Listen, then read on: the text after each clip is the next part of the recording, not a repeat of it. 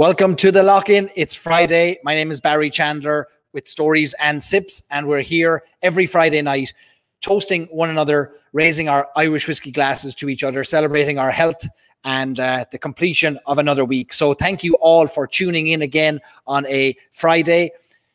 Everything is new tonight. New haircut, first time in seven months. New cameras, new lights, new sound, and um, new whiskies being introduced as well tonight. Everything is new. It feels great. Uh, it feels like we're on to the next level of the lock in, and I'm really excited for the night we have ahead, doing something really new tonight, bringing on an American distillery uh, for very interesting reasons and very Irish uh, reasons as well. So, looking forward to talking to uh, the husband and wife team behind Talnua Distillery in Colorado, in Denver, in Colorado. You'll see one of the bottles right here.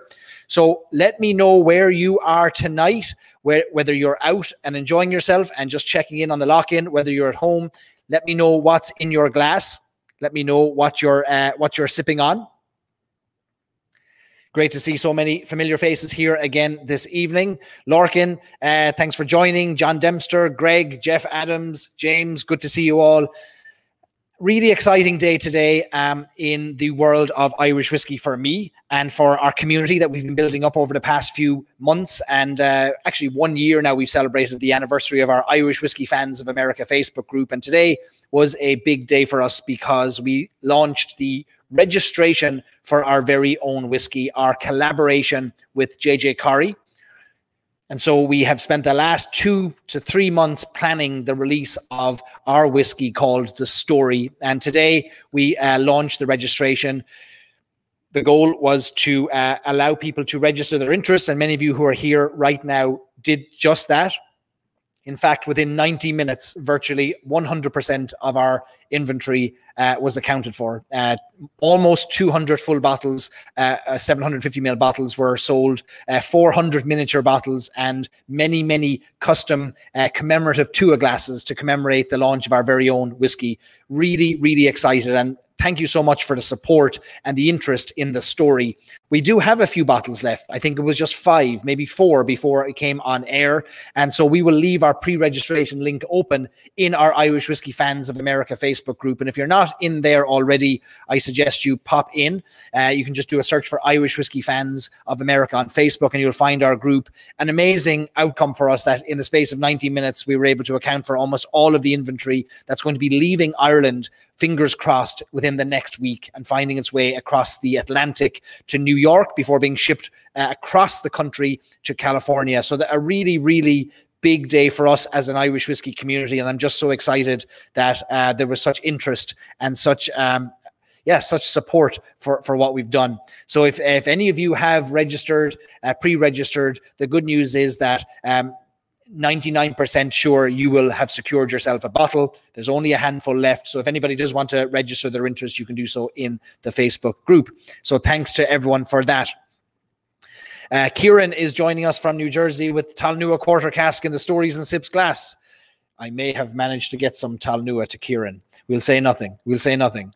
Um, good to see you, Maureen from Canada, tuning in. Stacy's got some Talnua Old Saints Keep in Ohio.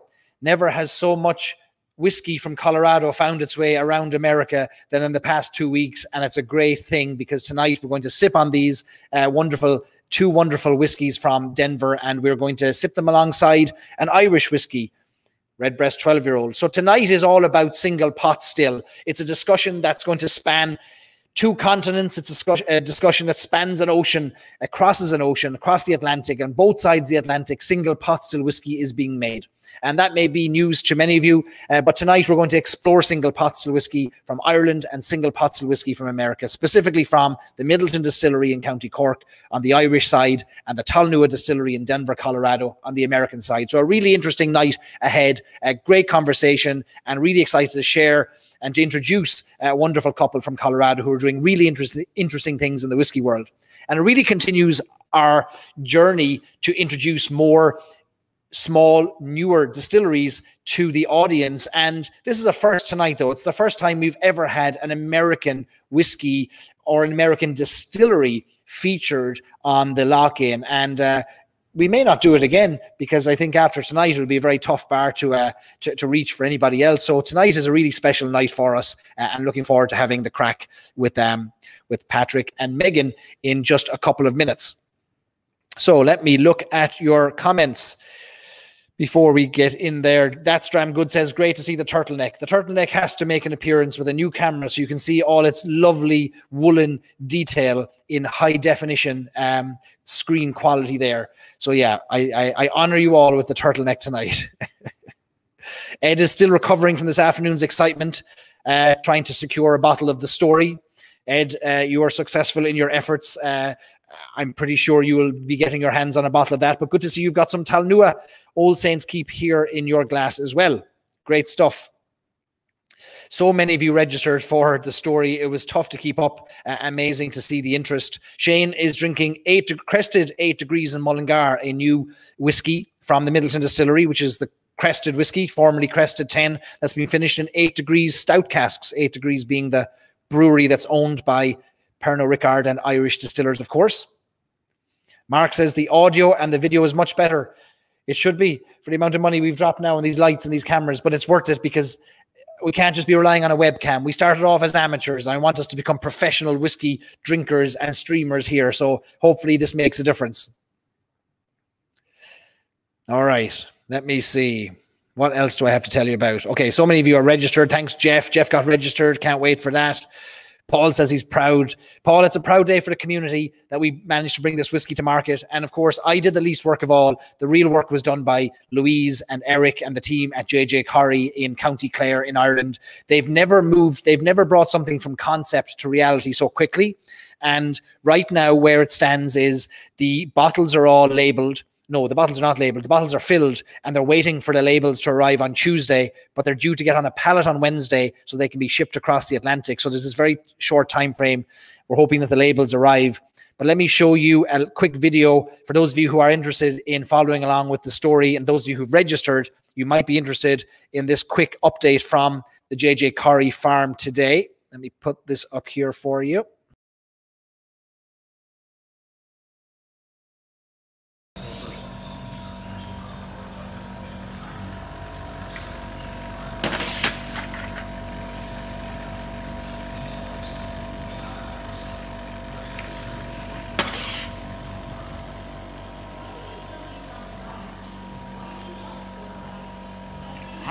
Best, isn't it? Finest.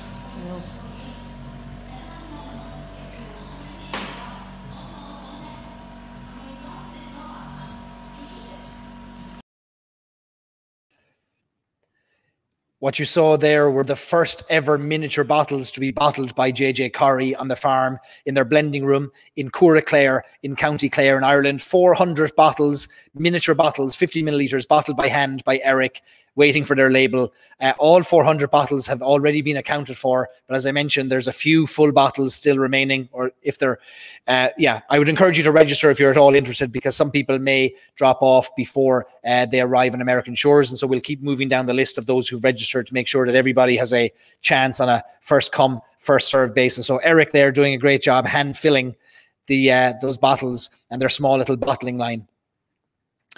All righty. So tonight is, uh, as I mentioned, it's a single pot still extravaganza, and uh, I had the fortune of visiting Denver, Colorado uh, a couple of weeks ago. The one week in the last six months that we've missed our lock in, and for good reason, because we were up in Denver drinking good whiskey. And I think you'll you'll uh, allow me that brief respite from our lock-ins because I was doing research, of course, and bringing back whiskey that we could talk about. And in my travels uh, there in Denver, uh, came across the wonderful Talnua distillery. So I'm going to bring in the, the lovely uh, Megan and Patrick Miller, the co-founders of the Talnua distillery in Denver in Colorado to join us. The Millers, you're very welcome to the live stream. Thank you. Hello, how are you? We're allowing in American invaders for the first time. I know, and we I feel I feel uh, I feel that by the end of this, we won't feel like we're imposters here. We'll we'll set everyone's uh, mind at ease, and, and we've got the flag behind us to to represent as well. Uh, and first off, I would love to congratulate you on that release. Um, we know how big of a deal that is. Um, we also feel the uh, hand bottling and hand labeling, so we understand that as well. So Godspeed about getting that done on time, but very excited uh, and humbled to be here tonight. Well, we're delighted to have you, and it's always fun to talk to interesting people doing interesting things. And you're doing, you are interesting people doing very interesting things in Denver and Colorado. Tonight's all about single pot still, and um, I was surprised early on in my Irish whiskey journey to learn that single pot still whiskey could be made outside of the island of Ireland because there are many stories about how it can only be made in Ireland and it's Ireland's quintessential spirit. But we're going to dive into that tonight and bust some myths. But I would love to start tonight by getting a better understanding of your background and what led you to this point where you started the distillery in Denver and uh, help us understand that journey. Yeah, uh, I think so. Um, we're of Irish American heritage. Of course, my name isn't accidentally Patrick, so let's put it that way. Um, and so we were on our honeymoon in Ireland in 2011. We were actually sitting in a small pub in Galway, um, An Púcán. And uh, it was a Friday, and the United States was playing Ireland. The game was on in New Zealand, so it was about 8 a.m. or so um, in Ireland we're sitting and watching uh, the game. That's how cool she is. Is um, go, goes with me and and has always been a huge rugby fan. So it's a passion we shared together. So on our honeymoon, watching this game, as you can imagine, um, Ireland was handedly beating the U.S. Eagles. Um, and so, as the game and our interest in it waned, um, we were talking to the bartender, and in walks the first cases of redbreast into the pub, and the bartender was beside himself, excited about the first single pot still, the first redbreast coming back into that pub. And he immediately ripped open the boxes and and was sharing that with us, and then began. Uh, we're, we were so lucky that he really knew the story and and the history of pot still whiskey. And redbreast is such an easy whiskey to fall in love with. And when you're on your honeymoon, watching rugby, sipping the first single pot still back into the market, uh, which was 2011, uh, which still blows my mind that it was less than a decade ago that Redbreast had had made this landfall again back on the island, and we were one of the first people to partake of of that. And truly, it sparked a love affair of wanting to get our hands on Green Spot as it came out, all the powers expressions of John's Lane and Three Swallows, um, Barry Crockett Legacy, uh, and being something that we just, as they were available to us, really began to give us the taste for this whiskey and this style and it soon became just our absolute favorite. And it, it was to the point where going through us customs every year going back to ireland was troublesome because we had cases of booze coming back uh, and you know we had to convince us border patrol that we were going to drink all of this. This wasn't to be resold. Uh, we might share with friends and family but we had to buy a 12 month supply for ourselves uh, um, to share and that was the spark, right? As these came out and it got bigger and bigger, and then as new distilleries started to come out, like Teeling and Glendalough and and uh, and Kilbeggan making their re-entry, the love affair just grew, right? I mean, we were already fans when it was Redbreast 12 uh, out of Midleton, and that was basically kind of the only bit that you could access. Um, right. And you know, we were both in oil and gas. I was a chemist. Megan was an environmental scientist. Um, and so we, uh, in 2014, there was a, a, significant downturn, right? Kind of the last downturn before the, the COVID scenario hit oil and gas as well here recently. Um, that my company decided to strategically close all of their um, regional offices and bring everybody back to the headquarters, which was in in um, Texas, uh, in the Woodlands, Texas, outside of Houston. And we love Colorado. Um, we wanted to live here, and Megan had a fantastic job. So it was like, well, one of us is going to be looking for a job. You know, what do we want to do? And also, we've had this burning passion now to create something and and to be a husband and wife team, quite frankly. Uh, and that spark of loving the chemistry and and being in home brewing and and having this opportunity that kind of hit us right? I am not uh, it's funny because i'm not that story in craft spirits or whiskey uh, or brewing that's like i hated my job as an attorney so i quit and started making beer. I actually quite loved my job and i loved the team that i was on um, and we were just in a unique scenario that forced us to make a decision um, and so I took a class up at Breckenridge Distillery. They used to run classes up there about how to start a distillery. Um, and so I took that class. And I know, and, and you know this as well, there's many romantic parts of making whiskey. There are, you're a, you're a, a stainless and copper janitor is really what you are, and you babysit yeast. And so eh, the the glory factors of running the still and and moving casks around that's a that's a small part of the grander scheme of, of what yeah. whiskey making is and getting that from grain to glass.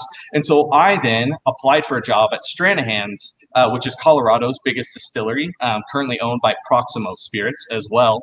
Um, those guys uh, let me in, shockingly, and I was able to start making whiskey. And it was all, it's a single malt, so all malted barley whiskey.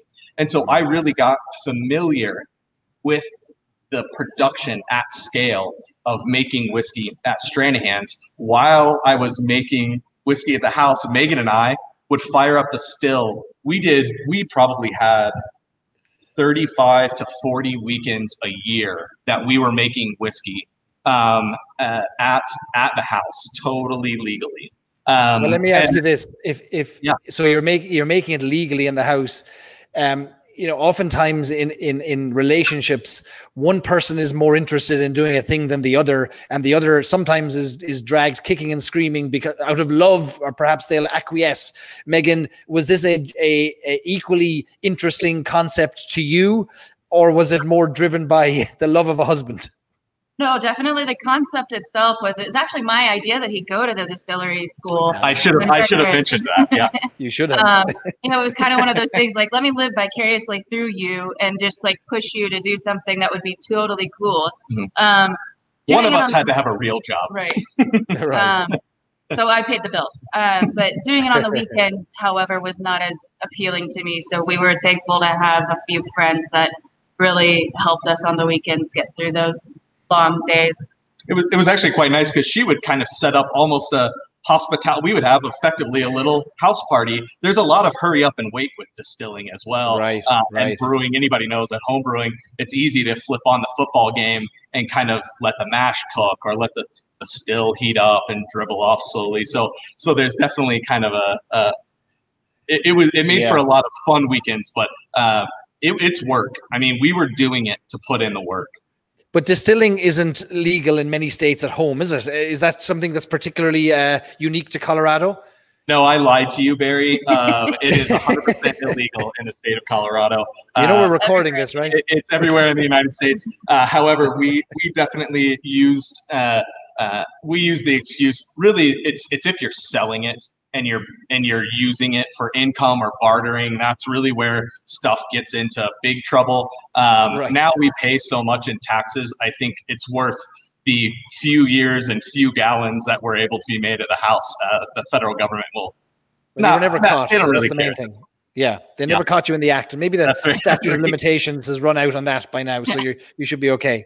And I and I said one of the crazy things is technically, if you go by the book 100%, you have to build out your entire distillery before you ever practice that the craft at all or do any recipe development. So on the legal side, you would have to invest all of the money up front, build out a distillery, and do your first trials on equipment in a fully functional distillery. And so uh, I think they they know. Yeah.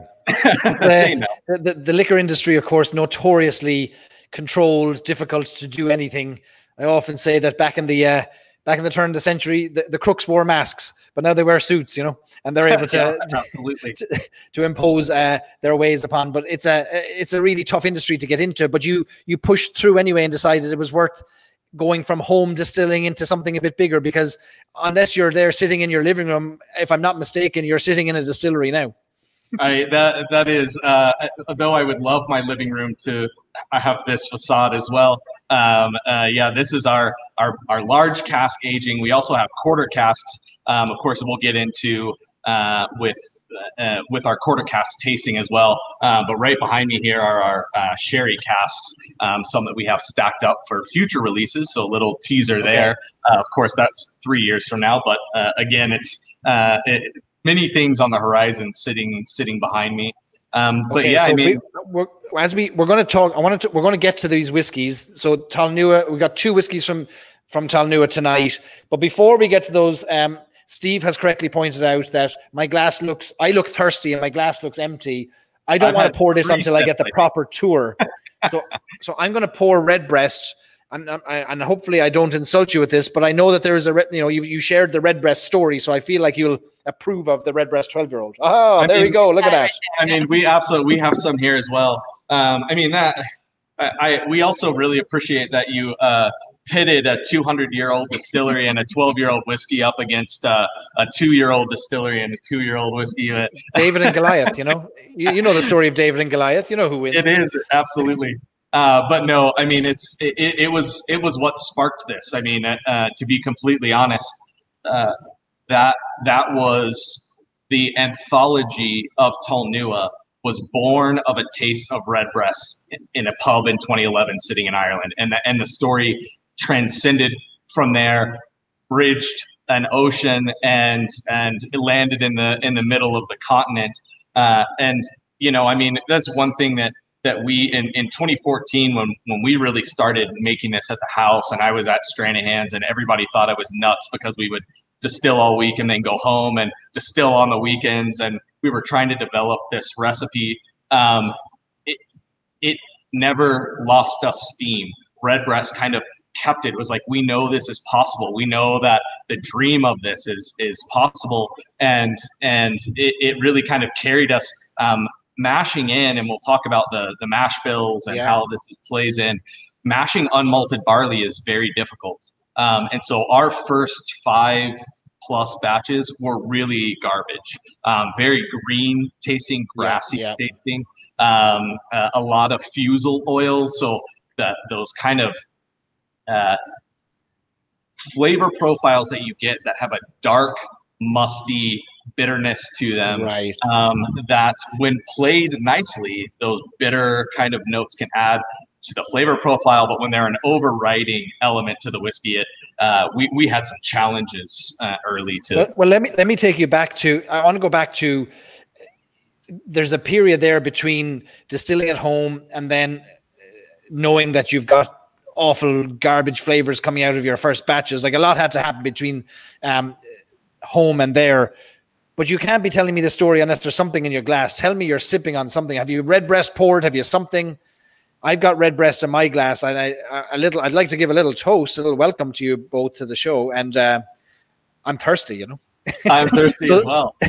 So Sláinte, and thank you for joining us. Uh, really delighted to have you, and, and uh, I know we've got uh, some fun discussions ahead. But thank you for, for your time this evening.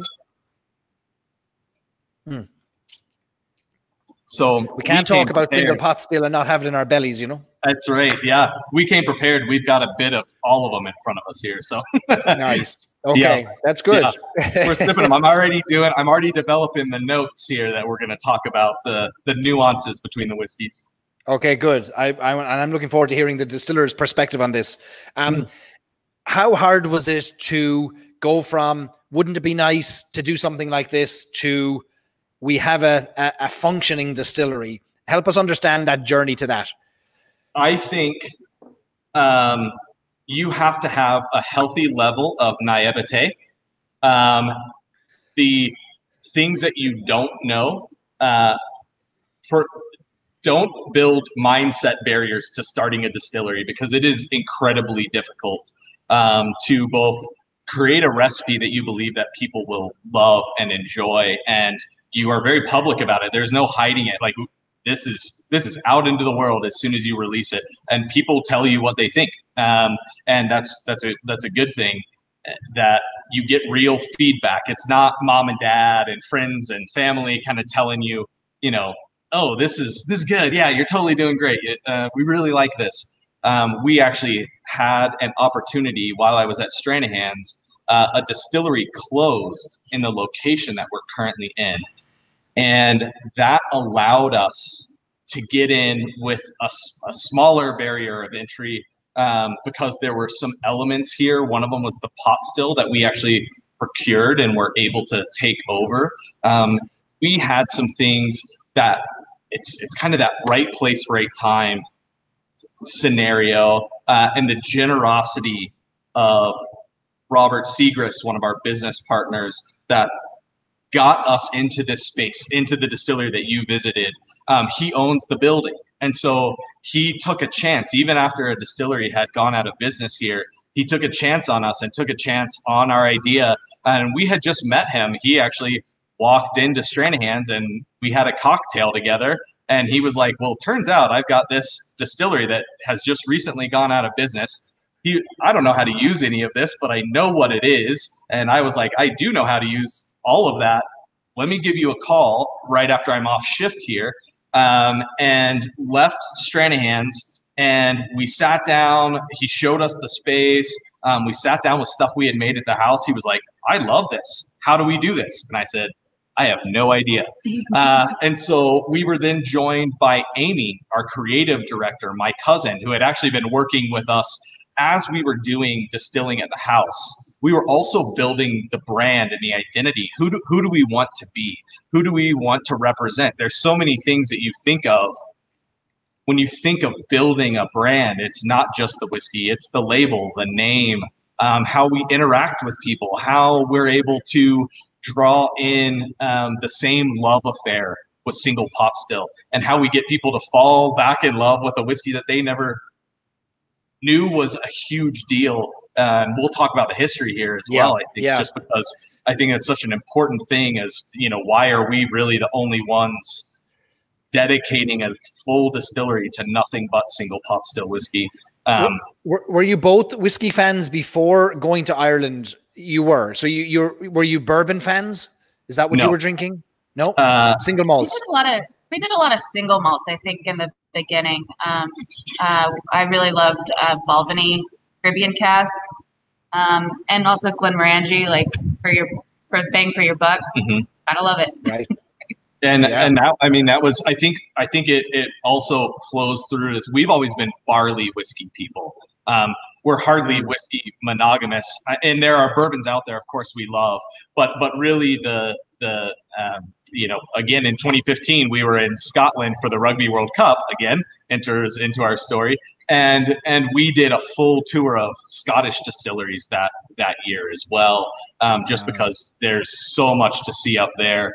Um, and we were fully ingrained at this point of speaking of that look and feel. How do we want this to be? How do we want this distillery to to look? Of course, we're in a small warehouse in Arvada, Colorado, um, but dreams are built brick, by brick, Barry. So someday, this is phase one. You're actually joining us tonight on a, at a phase one scenario um, where we are in the process of ripping out all of our existing equipment and building out all new pot stills, all new fermentation, processing tanks. So very So maybe we'll that. give maybe we'll give a little tour in a minute. We might twist the camera around in a minute uh, when we get to that point to show people, and we've got some images to show people so they understand Sure, yeah, what we're yeah. talking about here and kind of place it.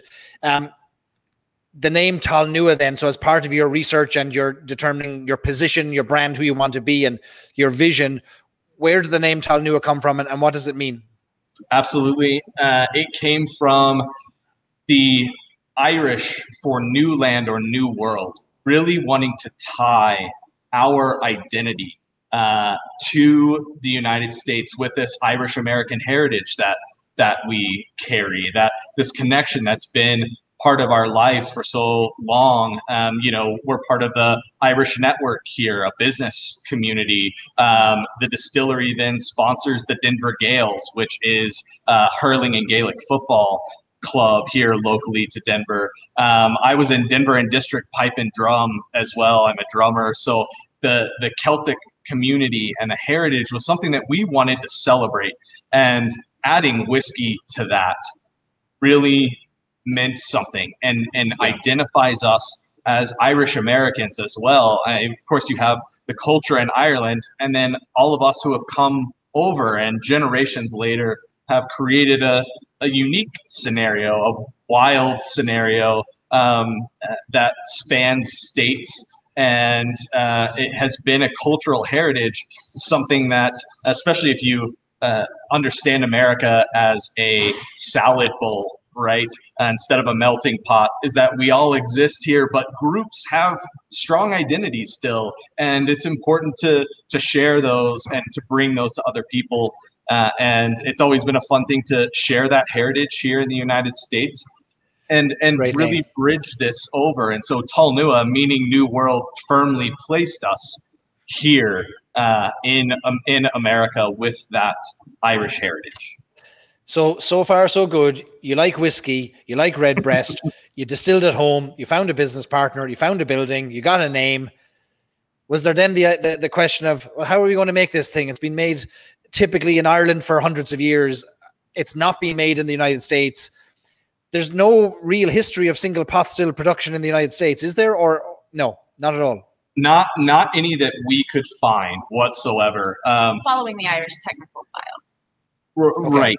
Right. So there there okay. are some who have created uh, they're more one-offs or a product in a multitude of lines um, where for us we dedicate singly and we follow that Irish whiskey technical file. So so one thing that we do um, one, you touched on something that it wasn't being made here. And in Denver, Colorado, you couldn't get Redbreast unless you were really out to get it until 2015, uh, kind of the fall of 2015.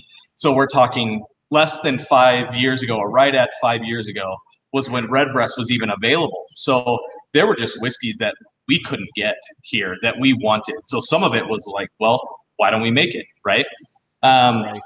The second thing is is getting this kind of history um, understood, both of how it happened in Ireland, the rise and fall of pot still whiskey, and now the rise again, uh, we hope to be a part of.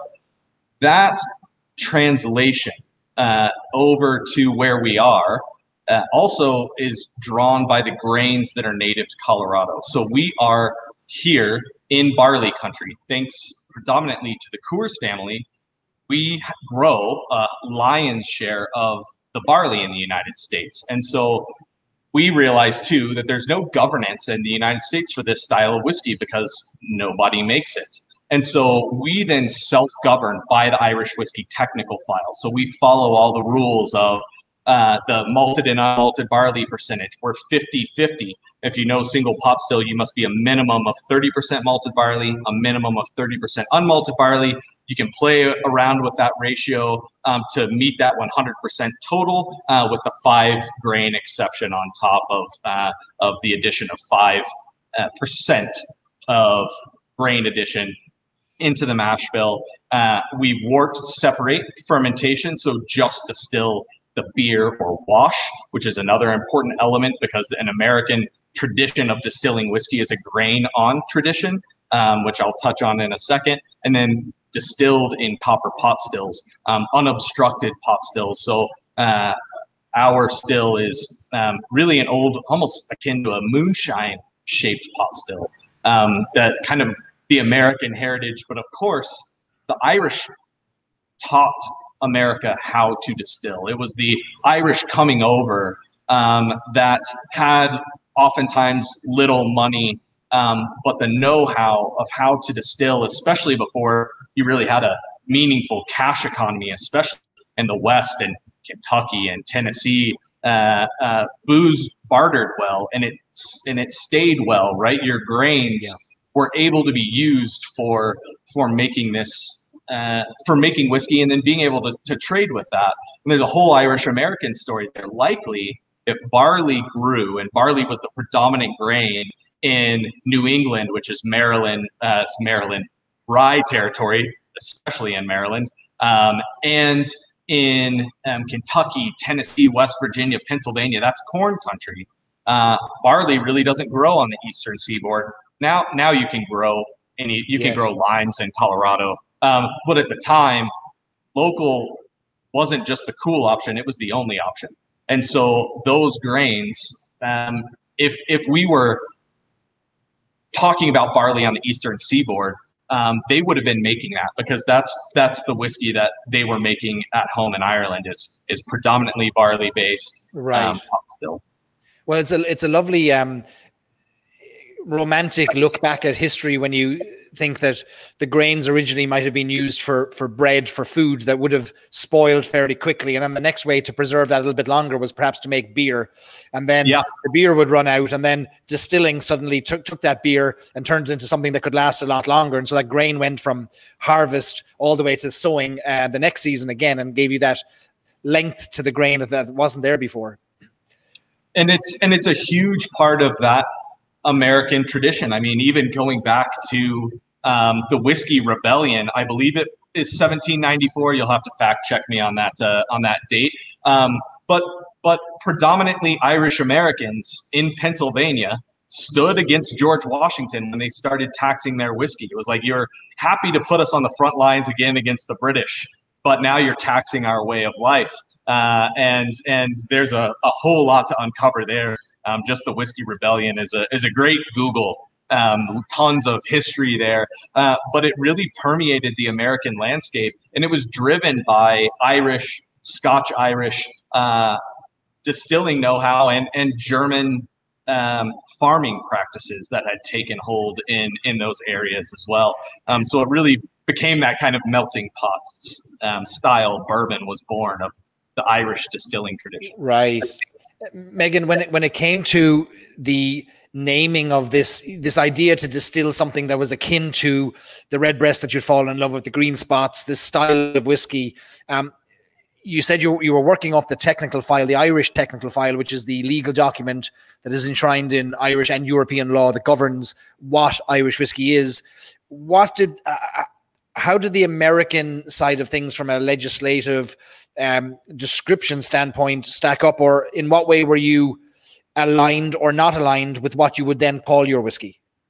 Sure. I think um, you know, with our our heritage selection, which we don't have here tonight, um, is our blend, uh, kind of like a Jameson or a Tullamore Dew. Um, it was a doozy for the TTB. We it spent probably six months talking back and forth with them on um, what they needed to see. While you know, part of the struggles that we've had were that we just want to be honest with what's in the bottle from our labels. Um, and a lot of times, you know, you can't say blended whiskey because that has certain category requirements in America that, you know, when we actually have a blend that should, in your mind, be a blend, we can't call it a blended whiskey. Um, so it's been complicated. Um, but, you know, I mean, I think we've found some good partners in the TTB that uh, have kind of recognized that we are trying to create a category here um, and and they're trying to work with us as much as they can. So the, the phrase single pot still doesn't exist in the American whiskey world, does it? No. Right. And and I think the one thing that and something that Megan and I really read through all this documentation, which is just an arduous task. Uh, there there's a lot to uncover both on the American and and on the Irish side. Um, the important thing that we found in that document and in the subsequent EU documents is that the protected term is Irish whiskey of any kind, whether it be Irish grain whiskey, Irish sing- single malt, or single pot still whiskey. Um, that it wasn't single pot still that was protected; it was uh, just like single malt, uh, where uh, there is an American um, group that is working hand in hand with the TTB hopefully by 2021 to have an American single malt category that's governed and has certain rules and regulations surrounding that. So when when we were looking through all the documents, it says you can't make Irish single pot still, but we took the mindset that just like you can't make Irish single malts in the United States, you can't make an Irish single pot still in the United States, but we can make an American single malt and an American single pot still. And and Okay. we and we took that honestly. Maybe we convinced ourselves of it because we wanted it so bad. Um, but but we convinced ourselves that that was that that wasn't going to get us into any legal trouble. Um, and and so far, uh, you know, working with the TTB, they are also they don't want to uh, do anything to cause any kind of issues with Irish whiskey and the Right. EU because they have interest in protecting bourbon, of course, and and things that products that come out of the United States. And so they really go tit for tat on that. They want to make sure that um, when they're they're they're doing their due diligence to protect um, interests globally, so that they have the kind of reciprocation of governance there. So, i what what category does the your single pot still technically fall under in American whiskey? Just whiskey, okay. Whiskey. And what are the what are the requirements legally to be called whiskey in America? Now you're putting me on the spot. Cha- chapter four, know? Megan. Just recite chapter four of the TTB manual. Um, I, I Have you know not memorized every page? Yeah. At one point, when we read them um, and did the labels, I knew that off the top of my head, but I do not right now. Okay. Uh, It's things like it must be distilled out of grain. Um, Yep. So it can't be dis- distilled out of sugar, of course, which would be rum. Um, so it must be distilled out of grain, must be distilled to under 160 proof, uh, must be barreled at between 100 proof and 125 proof, and must be bottled at no lower than 80 proof. Uh, those are the big swing patterns. And then you Okay. have subsects of that, of course, bourbon, which would make uh, 51% corn an additional rule. It would make virgin oak barrels, American white oak barrels, an additional rule. Um, straight American whiskey makes two year old whiskey with virgin American oak, um, but it can be any type of grain. So you could have a straight rye whiskey. We technically Yes. could, on this bottle, on this batch, though it says 18 months on the label, it's all over two years old for this batch that's currently in your hand. Um, and so that would technically meet the straight American single pot still designation. Uh, all virgin American white oak. Yeah, go ahead. I see. Mhm. For for a whiskey, then it can just be aged for a day, can't it, to be called whiskey, or does it need like, or even a minute? Five minutes gives it five minutes, and once it touches the wood, it's whiskey, right? It's, is once it touches the wood, uh, you have to put an age statement on it, but the minimum age statement um, has to be applicable to the style. So, I mean, we have friends uh, at a at a local distillery here that make a white whiskey, and it says touched to oak for no less than one minute, um, and, and that allows you to put. Uh, whiskey on the bottle instead of putting moonshine on the bottle. Of course, what is oak doing in less than a minute? Yeah. Uh, you know, I'm not sure how I feel about that. Yeah, right, it's I'm kind of a sure. cheeky. It's a bit cheeky, but uh, I don't think it- we'll be it- having them on the show. they uh, uh, those those kind of things. You know, uh, get get into regulatory things. I mean, Yeah. I can't tell you how thankful we are uh, to not have that three-year-old designation. Um, was really interested in Peter Mulryan's last article about. Um, I think you can go on to uh, Blackwater Distillery's website, and I, and they have Right. a blog of of the uh, uh, the kind of anthology of, of mindset around that distillery's development of different whiskey styles there.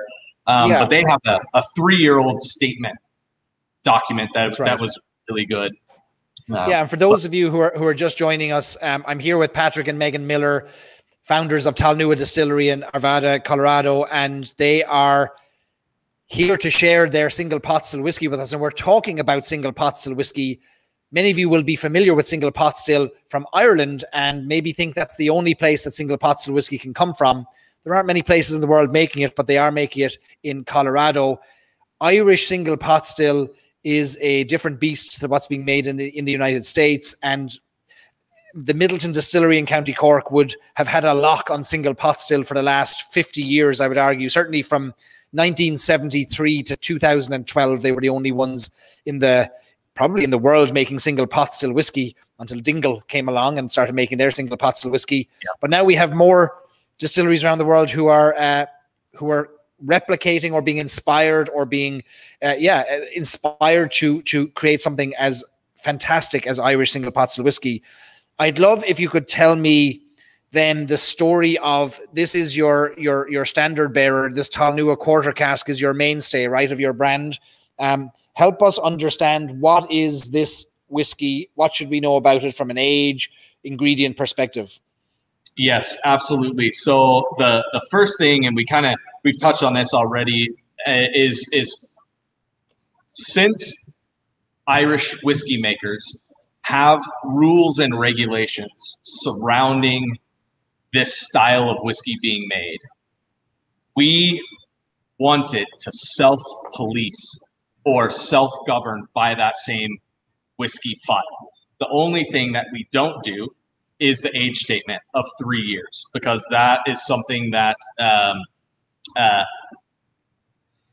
well we'll talk about i'll talk about with the aging and how that really affects things um, but it's an arbitrary number uh, whiskey doesn't magically become whiskey at at three years. Um, arguably, many whiskeys get better and better. So whiskey that's a year old versus whiskey that's three years old might have more palatable characteristics um, to it, but it's definitely not something that defines how whiskey must taste. So uh, our single pot still is 50% malted barley, 50% unmalted raw barley.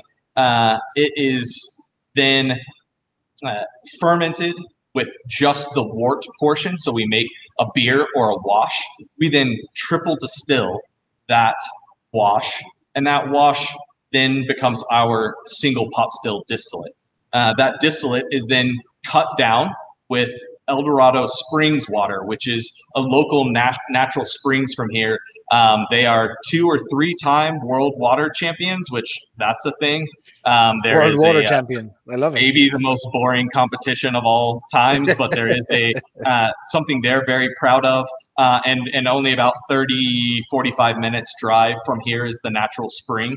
Um, so we have water brought to the distillery. We cut down into barrels um, that are virgin American white oak. So something that is very rarely done in Ireland is adding that virgin American white oak.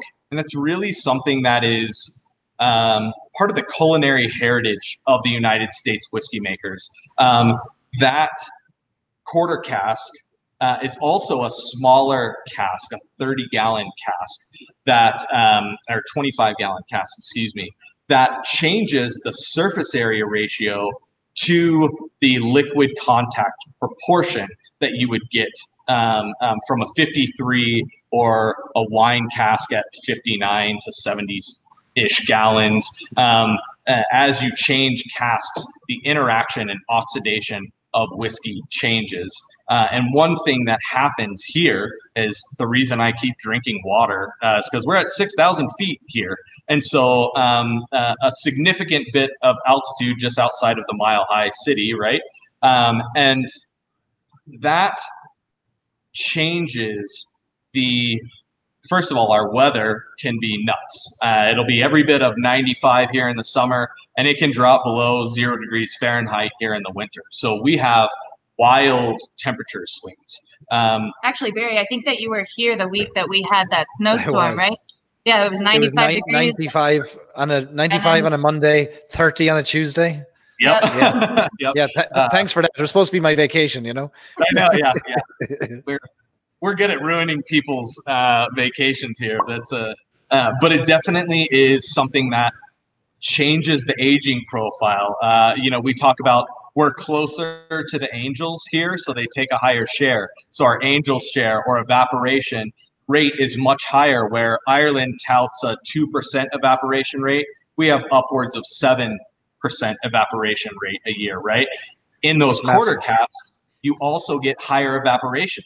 Uh, the quarter cask shape and size allow for a higher evaporation rate. However, it also allows for a higher oxygen and nitrogen exchange ratio that changes those tannin and lignin compounds bound in the oak itself into esters of caramels and vanillas. Um, uh, we get an interesting kind of subtle banana, maybe a bananas Foster's note that floats through um, our pot still whiskey at its at its age. Um, all of those whiskey ketones are notes that are derived from the angel share in a barrel. That's the beauty of Yes. aging whiskey. Otherwise, you would just throw it into a stainless steel tote and throw oak chips in it, and then uh, you would have whiskey just by the addition of oak. Uh, it's the time and the angel share evaporation that gives you that exchange.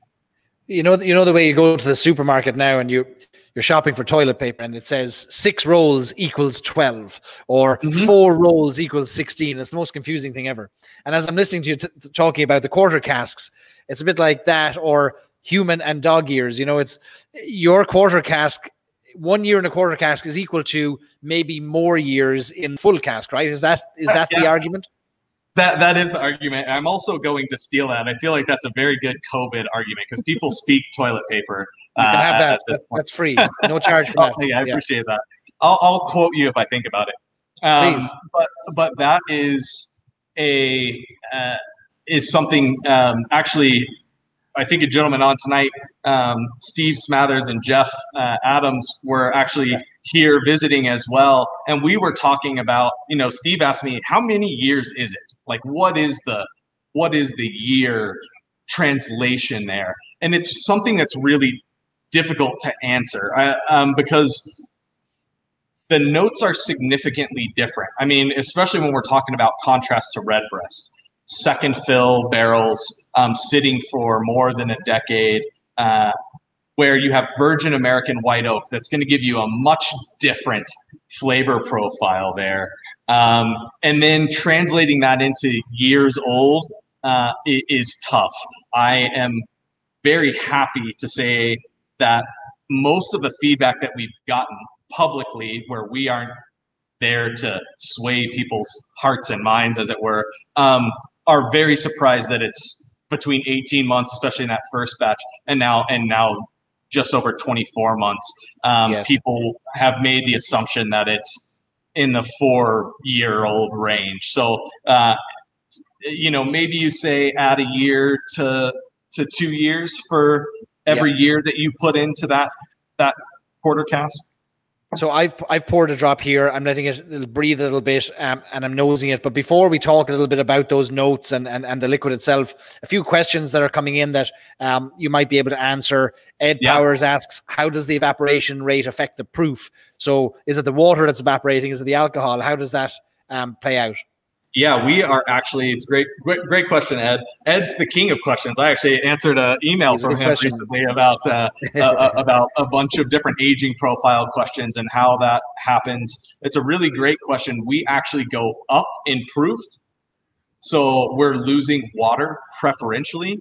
Uh, of course, the overall volume is higher, um, but in Ireland, it is the general rule that water content is higher than the alcohol content that you put in. We're flipped in Colorado, um, where the alcohol content is higher, but we've lost a lot more overall. So even though the proof is going up, we're not gaining alcohol so much as Okay. preferentially losing water.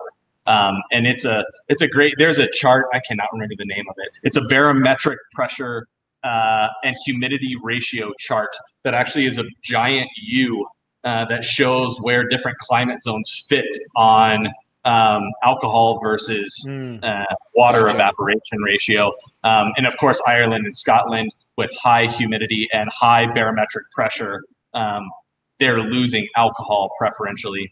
Um, where here, a much lower barometric pressure uh, and very low humidity. I think our humidity back here right now is is up 12% on our, uh, maybe even less than that.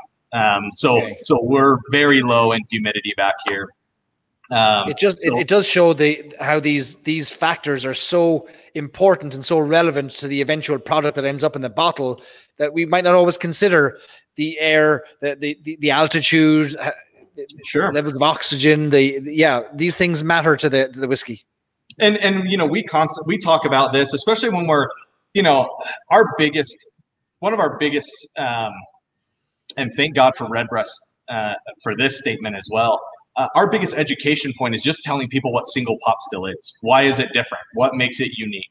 Um, that uh, without Redbreast would be even harder because also Redbreast in, in an amazing way gives us an amazing whiskey to point to people where I've only ever heard maybe two people in the uh, in the nine to ten years say, "Nah, I don't really like it." Right? Um, I, I think that it, it gives us something to to direct yeah. to people that they understand.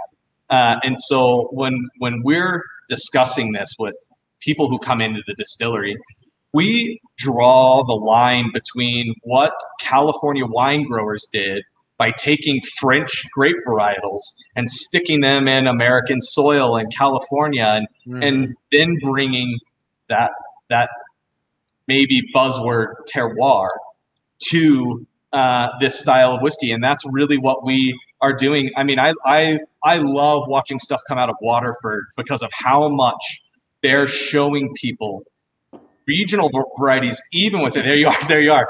There you are. Uh, even within I was ready. And and having uh, farms produce barley that then they translate into whiskey that palatably tastes different. And so right. we're doing the same thing.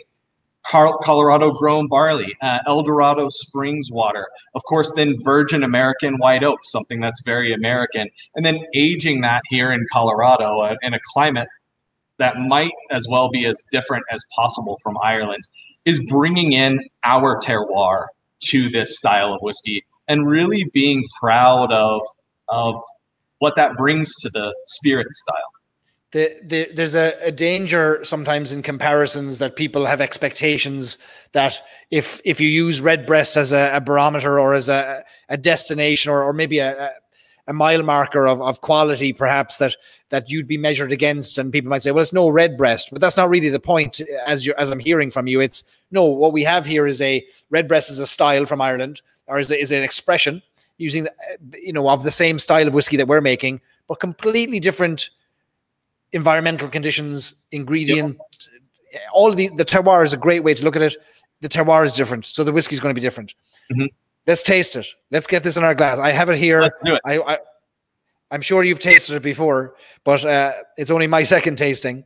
So I had a I had a tasting flight in your tasting room. Let me put up a picture here of your tasting room, and I'm going to get you to swing around the camera in a few minutes to show people the distillery. But sure, first, I'll try, to, me, I'll try uh, not to make people motion sick. Okay, so here's the tasting room. Over there in the far left corner is where I sat for my little tasting. I'm not sure if we can see it on the screen. I don't think you have it there. But when I sat there, there was a, a, a green bottle on the shelf with no label on it, and it was unmistakably a Redbreast bottle. And I knew immediately, aha, they're Redbreast fans. We can talk to these people. Actually, we've got some people in our tasting room watching right now. So hello. Oh yeah, Hello, we're live streaming room. into the tasting room. Yeah, yeah. I in the tasting room. Order lots of great cocktails. This uh, yeah. whiskey goes great in cocktails. Um, okay, so this is a very different whiskey than what we would be used to as a single pot still in Ireland. Uh, talk us through, uh, lead us through a little bit of a mini tasting, if you wouldn't mind, Megan and Patrick.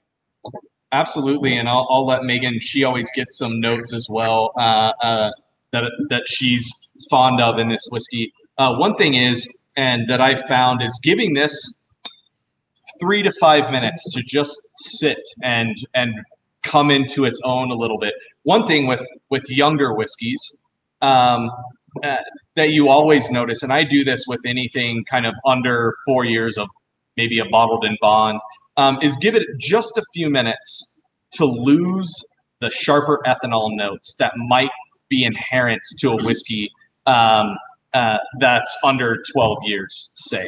Um, once that disappears and kind of is is eliminated just through that natural evaporation, that nice American oak note really rises right up to the forefront. That caramel note that it's so famous for and why it's so coveted worldwide. Um, you really get to that that note pronounced right away. Then I so always Virgin American Oak. That Virgin, Virgin American, American Oak. Yep. Yep. Yep. Exactly. Then coming behind that, I always get kind of an almondy, nutty note to that as well. Um, like sliced almonds. Um, there's a bit of sweetness to the smell of of it, uh, followed by, like I said, by that almost bananas Foster notes. Yeah. If you're going to get a kind of a strong. fruity note, Yeah. um, I always get that kind of in that Mm. in that order, and it dances around. And really, the more you nose it, I found with this, and I and I have found this with Redbreast as well, is one of those co comparisons. Is it changes in your glass, uh, especially with every sip, and as you enjoy it. Um, it is the opposite of a linear flavor profile, where many malt whiskeys or bourbon whiskeys can have a very expected taste, where it tastes like sip one and sip 20. Um, our pot still whiskeys, and I think a hallmark of pot still whiskey is the is the way that it compounds and builds on the palate, both the nose and then especially after tasting it, how it changes again on on the nose. And something another note that is akin to redbreast is that hallmark spiciness, that pepperiness, the mouth coating feature Mhm. of this whiskey. Then on the next sip has diversified the Mm. flavor profiles. Um, and it's bright. I mean, it is a younger whiskey. It's two years old. Um, it's young, hot, and sexy, just like the United States. Um, Ah. so- You have all the marketing. You, he has all the marketing lines from closer to the angels, and, and That's right. give them all ready for us. shaking her head. This is um. I'm That getting was not an approved statement. that was not a no. Uh, we're we're gonna let Megan take it over from here because I, I I trust her notes far more than I trust yours, Patrick. Um, and I'm Yeah. sure you'll you'll agree with me, Megan. Uh, I get I get like banana that's. And I, and I mean this in a good in a good way. It's banana that's that's uh, two days past ripe. It's like a mushy banana. Yeah. And and you know, like you'd almost make little little baby food for for a baby. You'd mush up the banana for them, and it's uh, it's it's it's soft, but it's it's a lovely note to it. And then white pepper. There's a white pepper on the on the palate. After that banana, the white pepper just lingers in the back of the tongue. Definitely. And I think on this batch, I've also, um, right, especially like right when we bottled it or when we were choosing barrels to bottle it, um, I got just an insane amount of milk chocolate, like not a dark chocolate, but a milk chocolate. Um, and then I always say like our quarter cask whiskey, I call it the mulled wine of whiskey. It's a good like Christmas spices, baking spices notes. Um, I think we have a lot of cardamom um, in our like just base spirit. Um, and so I think whenever you put it in a barrel, it really pulls out a lot of that cardamom as well. Mm. There's a dry tannin like finish to it too, isn't there? It's um you're licking your lips after it almost as if it's dried your lips a little bit and you're you need another sip. Very cleverly engineered to make you want to taste a little bit more.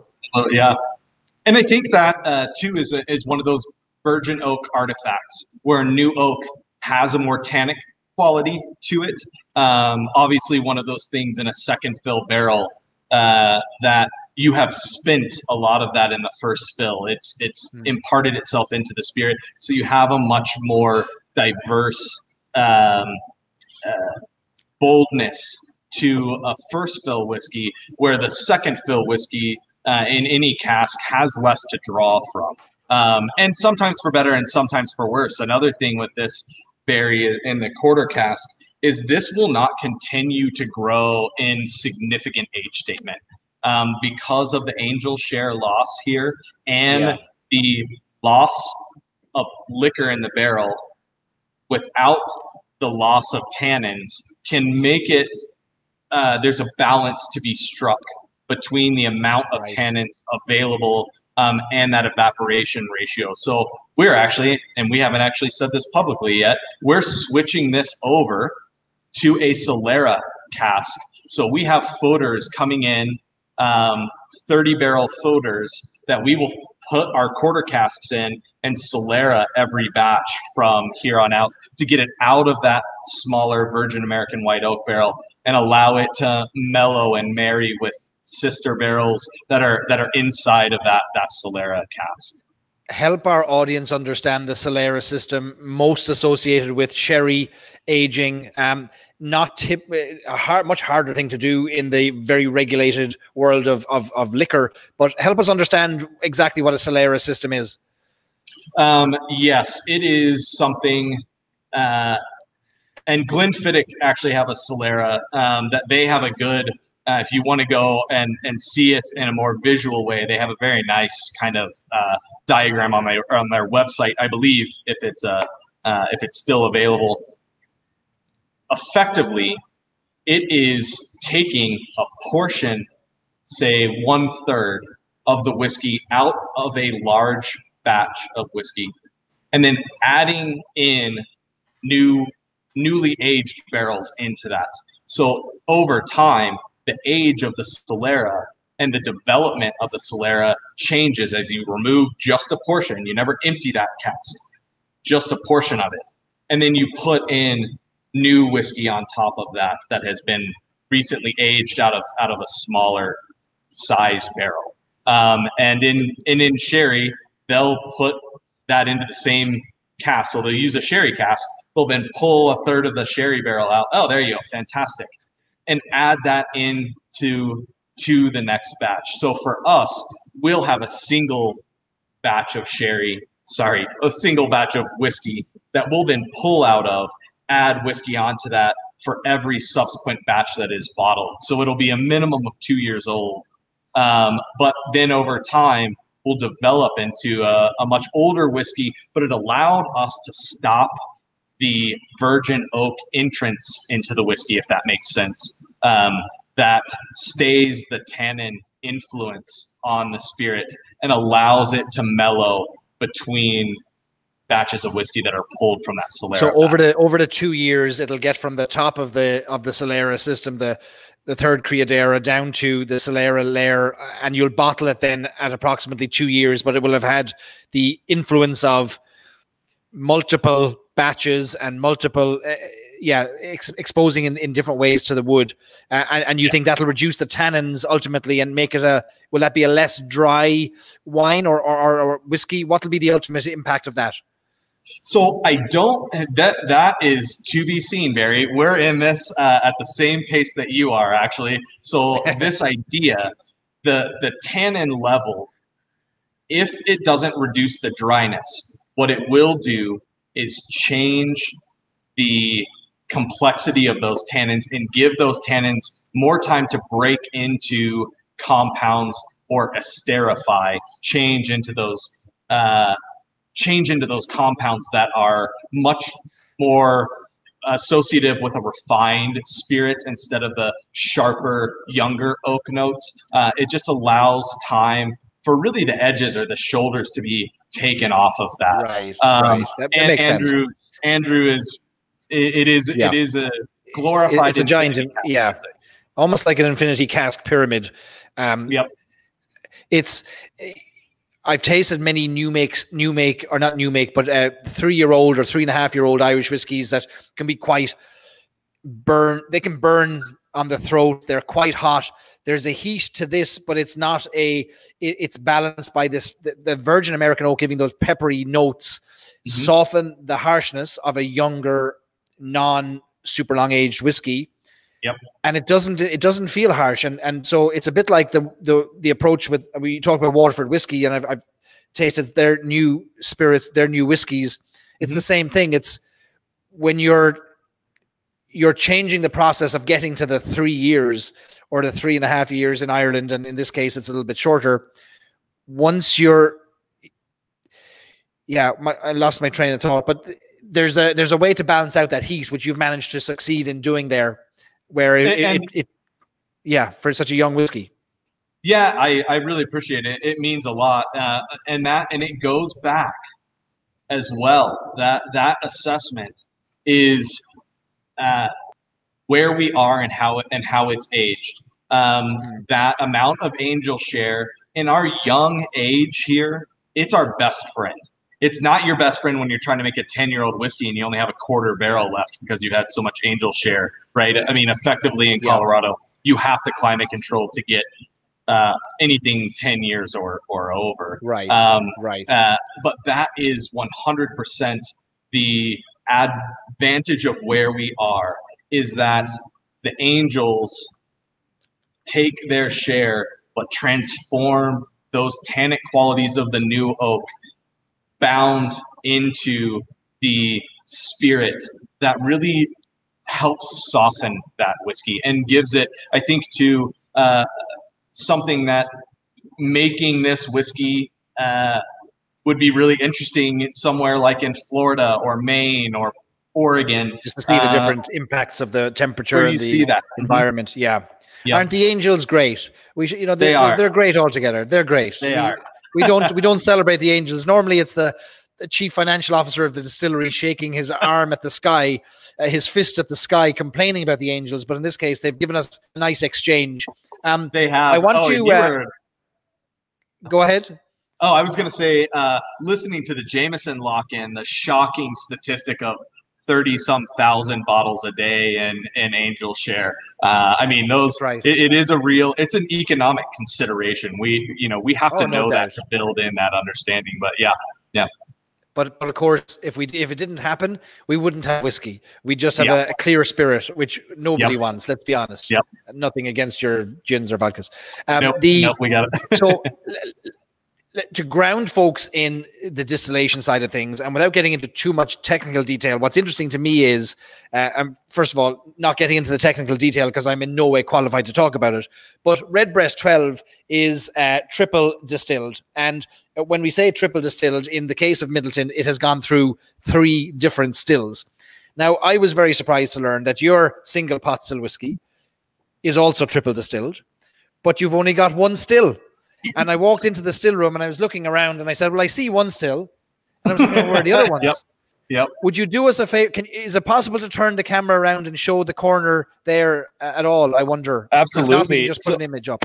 and and uh, um, I'll, I'll show you guys uh, here and forgive uh, we've just started tearing things out so um, eh, we we've lost our spirit tank at this point uh, we've disassembled that um, so we've started to move several things around here but I'll, I'll walk you over this Our way. first ever distillery So, tour live. Look at this. Here you are, right? So here is Amazing. actually our gin still. So that gin still sitting closest to me with a stainless steel bottom. She just makes gin.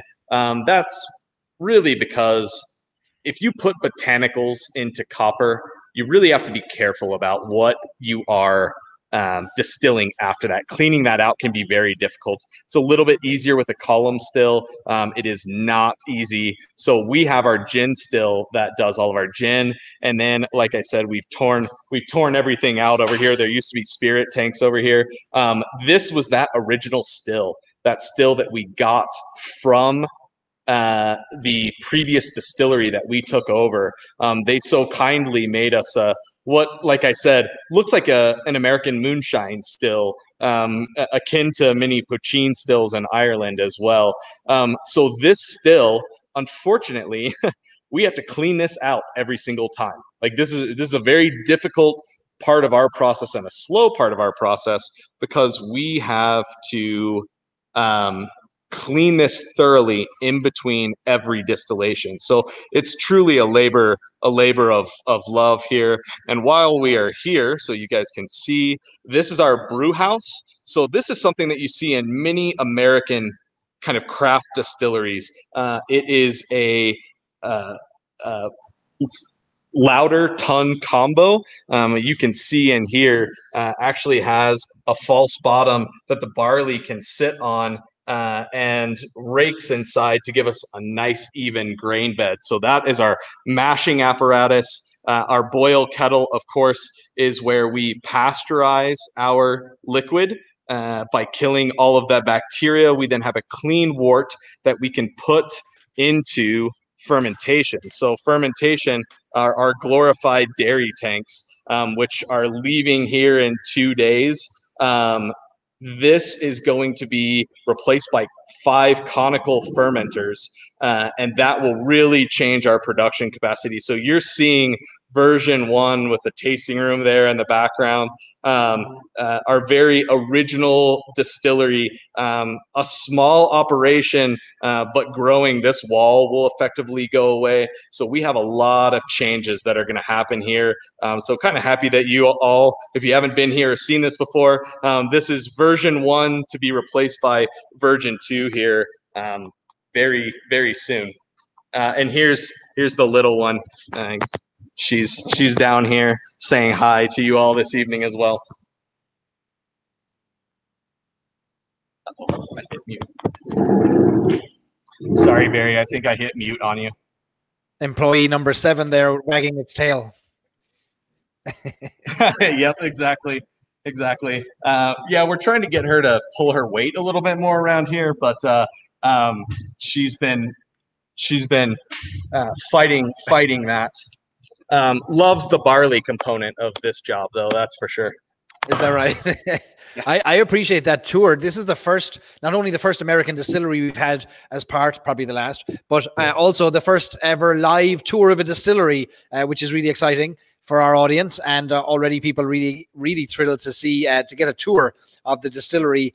Um, when I was there, um, I saw that, uh, yeah, this the spirit um, safe, or not the spirit safe, the it, the yeah the in the corner. We and I call was, it our spirit safe. It's yeah, it's tank, there's yeah. nothing safe about it, but yeah.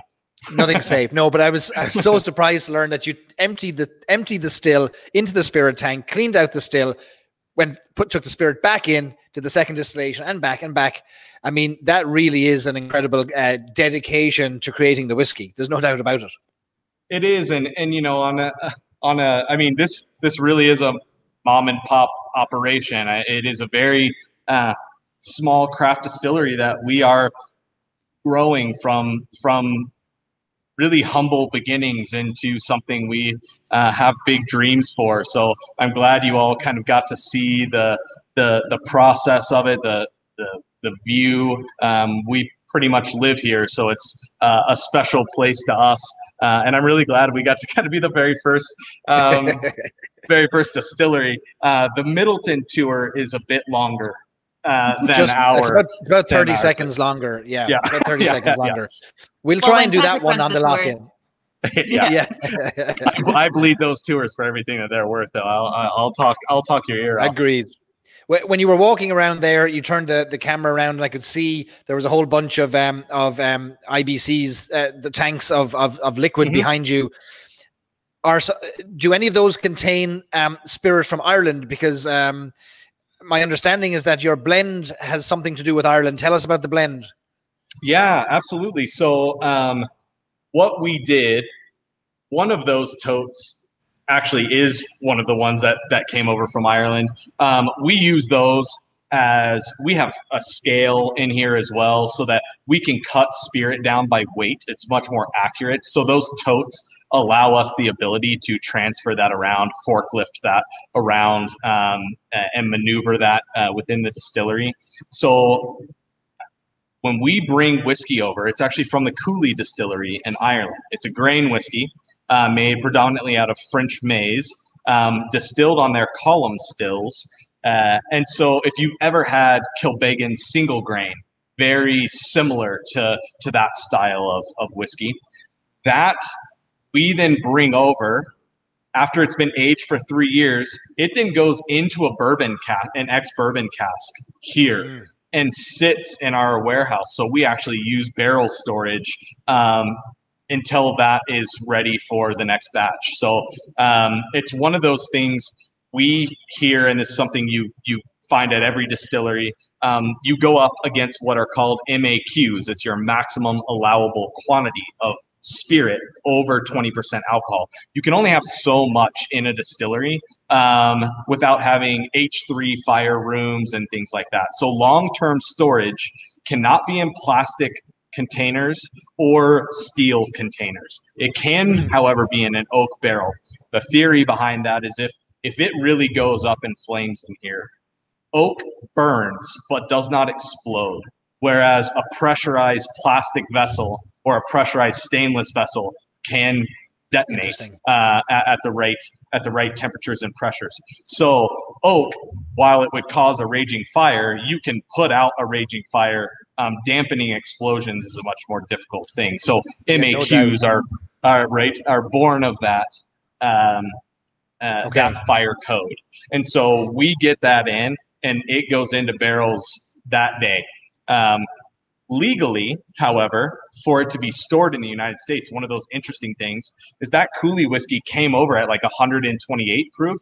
Earlier, I mentioned that 125 proof is the maximum proof at which whiskey can be aged in the United States. So we actually have to cut that down Um, I cut it down to just about 120 um, to put it Okay. in those second fill bourbon barrels uh, where it will rest until it's married in, in our batch or blended. Is there nothing easy in your process? It's just, is there anything It's- efficient in this process at all? it, it is not. And, and this is the thing that I love to tell people triple distilling whiskey is not efficient.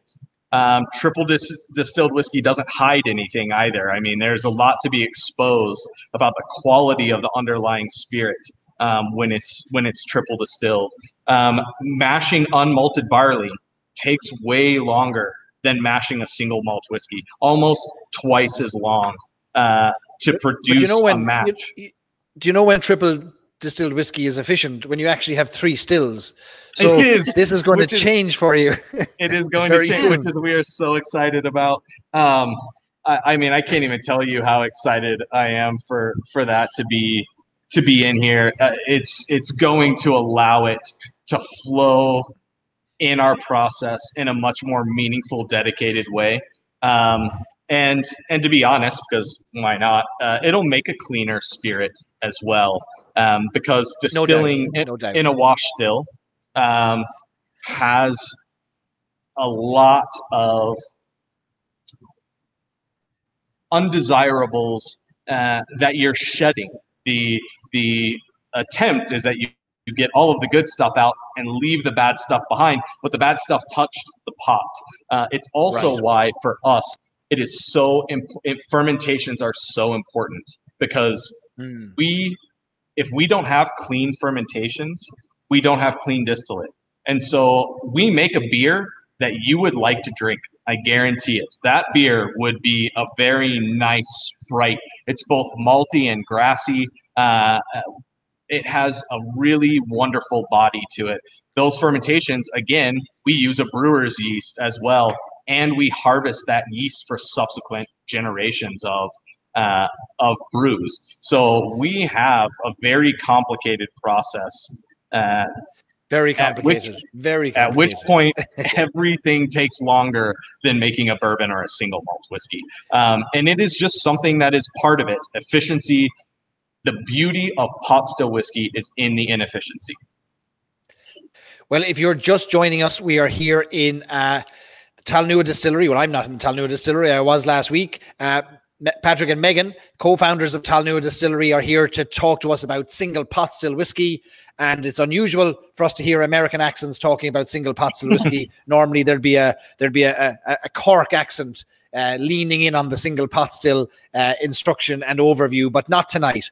Um, we're going to move on to the other single your your other single pot still whiskey in your lineup an annual release. Um, we're going to move on to that in a second. Um, for those of you who have just joined you're very welcome. Uh, if it's your first time here this is the lock-in live stream. We do this every friday night. It's a chance to get together to meet each other virtually online to raise a glass toast each other toast our health and uh, really remove and end as much isolation as we can in these challenging times and find somewhere for us to share our love for a common uh, uh, an uncommon love or a, a common love for an uncommon spirit is what we really have here with with with whiskey um I had the, the pleasure of visiting Talnua Distillery and doing a tasting of their of their flight of whiskies and some cocktails. By the way, your old fashions, maybe the greatest old fashions I've I've had ever, and I'm a I'm a real old fashioned snob, but they're amazing. Thank you. We're Yeah. pretty proud of them. We have. I, I, this is a shout out to Maya and Adam. They are amazing at what they do back behind the bar. So um, we're also limited. We are not allowed to have any um, sort of alcohol that we do not make. So we can't have vermouth or Campari or things like that. Mm. Um, so we have to get really, really creative. So yesterday we actually um, squished and deep pitted or pitted um, probably five pounds of tiny plums. Um, so everything is done by hand here, and and including the cocktails. It, it- they're not an efficient form either. You know, I, it's funny you mentioned earlier, Patrick Waterford Distillery, another distillery that is completely inefficient. If you were, if it was being run by a financial controller, it would be shut down in the morning. And and I'm sure you've had similar discussions yourselves with your own financial team. Uh, but Yep. I, I will, ju- ju- as we're on the topic of Waterford, it is worth sharing, and not to invade on your own space, but Waterford um, is now available in the United States. Waterford whiskey, the first release is from the Dunbell Farm in County Kilkenny. And the link to buy that, if anyone's interested in getting hold of an online only release of Waterford whiskey, which is following the most inefficient processes known to man or animal to make their whiskey, but producing an incredible spirit. You'll find those links in our Facebook group, Irish Whiskey Fans yeah. of America, and I'd encourage you to, to do that. Megan and Patrick, tell me what I have here in front of me. So this is our special release for 2020. This is uh, what we called Old Saints Keep because it is released uh, on St. Patrick's Day, which is our anniversary. We opened in on St. Patrick's Day of 2019.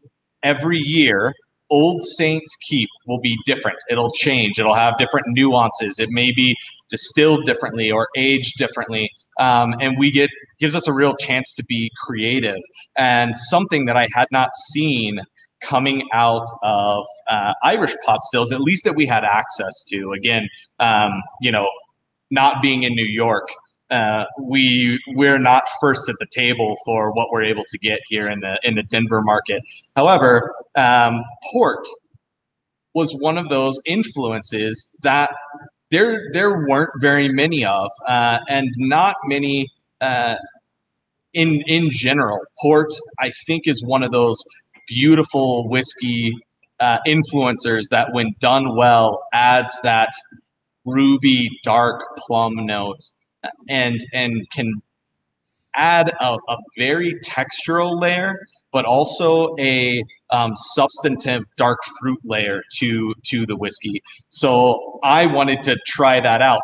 It's a this is another scary thing because I don't know what these whiskeys are going to taste like until we are ready to bottle these. I mean, I, I have about a month's worth of time that if it doesn't do what I need it to do, I, I have to figure out and scramble. Um, these uh, tawny, I'm sorry, uh, ruby port barrels really imparted that sweet dried fruit note. Um, if you're familiar with with sweeter ports, there's just a ton of uh, depth and elegance and silkiness uh, that lies in that port that I think really translated as a beautiful overlay to our quarter cask. So this would have been our quarter cask whiskey, aged then in a second fill port cask, uh, and coming straight from Portugal. So uh, I'm I'm very happy with how this turned out. Uh, I wouldn't doubt if you would see this coming down the line as a more regular part of our anthology in the next few years. Um, that port influence kind of entering our casking process, um, at least in a line of our whiskeys. Um, and so are you, it's. Are you finishing this in the in a full size port pipe, or is it a smaller? Yes. You are. Yep. So it was it was an amalgam of quarter casks that were then divvied into larger port casks for the finish. So, what would be the total age then of this? Uh, how, how long would this have been maturing for in total? So, you have to put on, um, just like in Ireland or Scotland, you have to put on the youngest aged barrel prior yep. to um, this new aging scheme uh, that is allowed. Um, not to get too into the weeds with it, it the TTB required you to basically say only the age of the whiskey that was the first influence on spirit. And it irritated a lot of people because some people will say, you know, I put it in a, a, a bourbon barrel in a year and I take it out and then I put it in a sherry barrel for a year and I put it in, right? And so there was all this casking that happened, but they were only allowed to say 12 months old because that was the first barrel that it was put into. Well, uh, similar in this case, the barrels of quarter cask that comprise this whiskey were 20 months old. We then allowed it to sit for an additional six months in that cask. So the ultimate age time is 26. That's why you get okay. 20 months on the label in quarter casks, yep. then put into port casks for an additional six months of finishing. I see. Okay. Well, be, before I, I knows this, I, I, I didn't yet explain or give any feedback on the quarter cask, and Steve Smathers did call me out, and rightfully so, that I didn't give my thoughts on it. Um, it's a remarkably different single pot still, and I've tried some of the new single pot stills that have come out of Ireland that have ba- barely made their legal requirement for aging. And I've not been. Uh, I'm the first to say I wasn't super impressed, and I felt that they needed a lot longer. Um, it does seem like that you have found a better balance. And I'm sure it's the quarter cask contribution and that speed of maturation that is helping that process. But the fact that I'm getting the notes from the caskets in such a short period of time, like that white pepper from the virgin oak, mm-hmm. and there's a lovely dryness. So it, to me, it's it's banana meets white pepper meets um, a kind of a dry tannic finish. It's it's a lovely, lovely sipping whiskey. Uh, I wouldn't add water to it. I would sip it as it is, and I think it's a remarkable whiskey to be putting into old fashions. Uh, mm-hmm. So I, I mean, credit where credit is due. Um, if I had gone through the tasting in Talnua and I had not liked the whiskey, we might not be sitting here tonight because I, there's no point in telling people in advertising bad spirit. But we're here because it's good, and that's a good thing. So um, I wanted to make that point before we moved on to Old Saints Keep. I don't. Thank you, Barry. I was gonna. You don't know how much that means to us. I mean, this. Like I said, this is you're you're witnessing a dream here. So um, it really oh, it really means a it really means a lot to us to to be here and to, to hear that. It's it's very special. And there, I mean, it's great to see the versatility within the style of single pot still. Within that, that that you can make a very different single pot still whiskey than we would know in Ireland. And what yeah. a homogenous world it would be if we'd only known one one approach to single pot still. So kudos for that, and and may we see many more uh, approaches to it and uh, rolls of the dice when it comes to this uh, because you're you're risking you're putting your money where your mouth is. And uh, hmm. I know that's that's not as you know that that's got to keep you up at night. But yeah very impressed with the with the whiskey. And um, I've tried this Old Saints Keep too. And uh, I'm excited to get your notes on it because I've got some thoughts. So um, Patrick you can't say a word on this now. This is only Megan's got it okay that's not fair we, we are a team he, he can talk sometimes all right I'll, I'll, let you be the judge of Megan gets to judge when Patrick can talk on this one. Okay. June wants to talk right now. um, Stacy says that she's tried a lot of whiskey this year, and Old Saints Keep is one of the best she's tried. And Stacy is a whiskey connoisseur and a big fan of Irish single pot still. Thank you, Stacy. All right, girl, what do you have? Um, I mean, on the nose, I definitely get a lot of vanilla. Yeah. Um, I don't know. I have to talk to. I, I know. Have this. I've actually, you don't have the script down. Well, this year we don't have a script. last year, I helped myself to Old Saints Keep. You know, for my last dram of the night, most nights. Um, this year, I've actually limited myself on how much I've, you know, allowed my myself to consume of, you know, this because we're already down to like 40 bottles. So um, from 450. wow. mm-hmm. so I just want to cherish it more. Um, I a lot of those I get a lot of raisin notes, dried, dried kind of plumminess and raisiny yep. notes. Yep. Uh, Plum is what I was mm-hmm. saying. And that's hundred percent port work, the work of that port barrel. Yep, yep. I definitely get that. The the dry, maybe even the stewed stewed raisins. Mm-hmm. Um, there is that. There's a there's a dry, even a dryness on the nose. Mm-hmm. I, I have um, funny. Own, go ahead. Go ahead. Okay.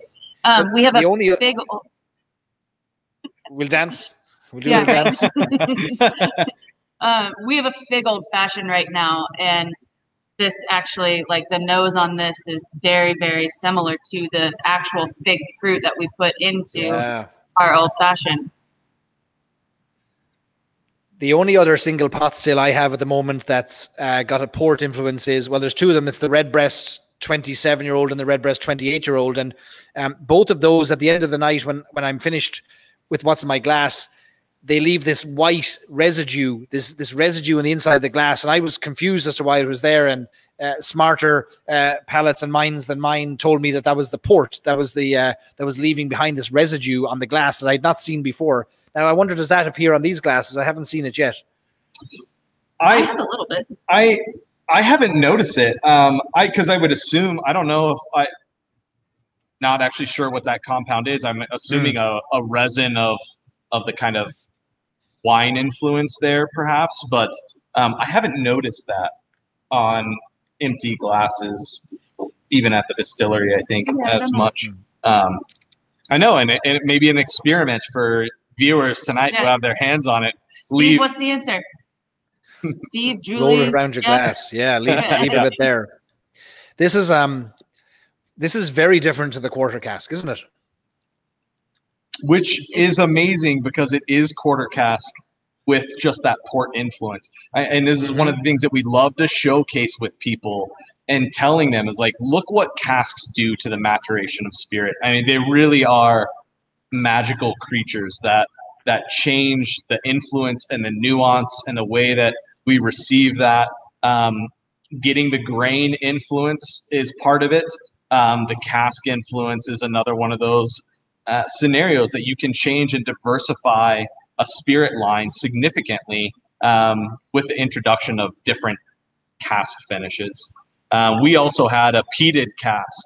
So we had a peated single pot still as well that I got barrels from Laphroaig um, that we did that people have been asking for, but because of tariffs and issues that exist, um, Scotland is not a, not in the mood to send craft distillers um, uh, whiskey barrels at, at, at the moment. So I have to be creative with coming up with that peat smoke again at some point because Yes. having a peated pot still whiskey was brilliant without having to add peat malt to the still. Another influence that can really taint the still in a good way when you want that. But just like gin botanicals can influence the flavor of the distillate, I didn't want to put peated malt into that still.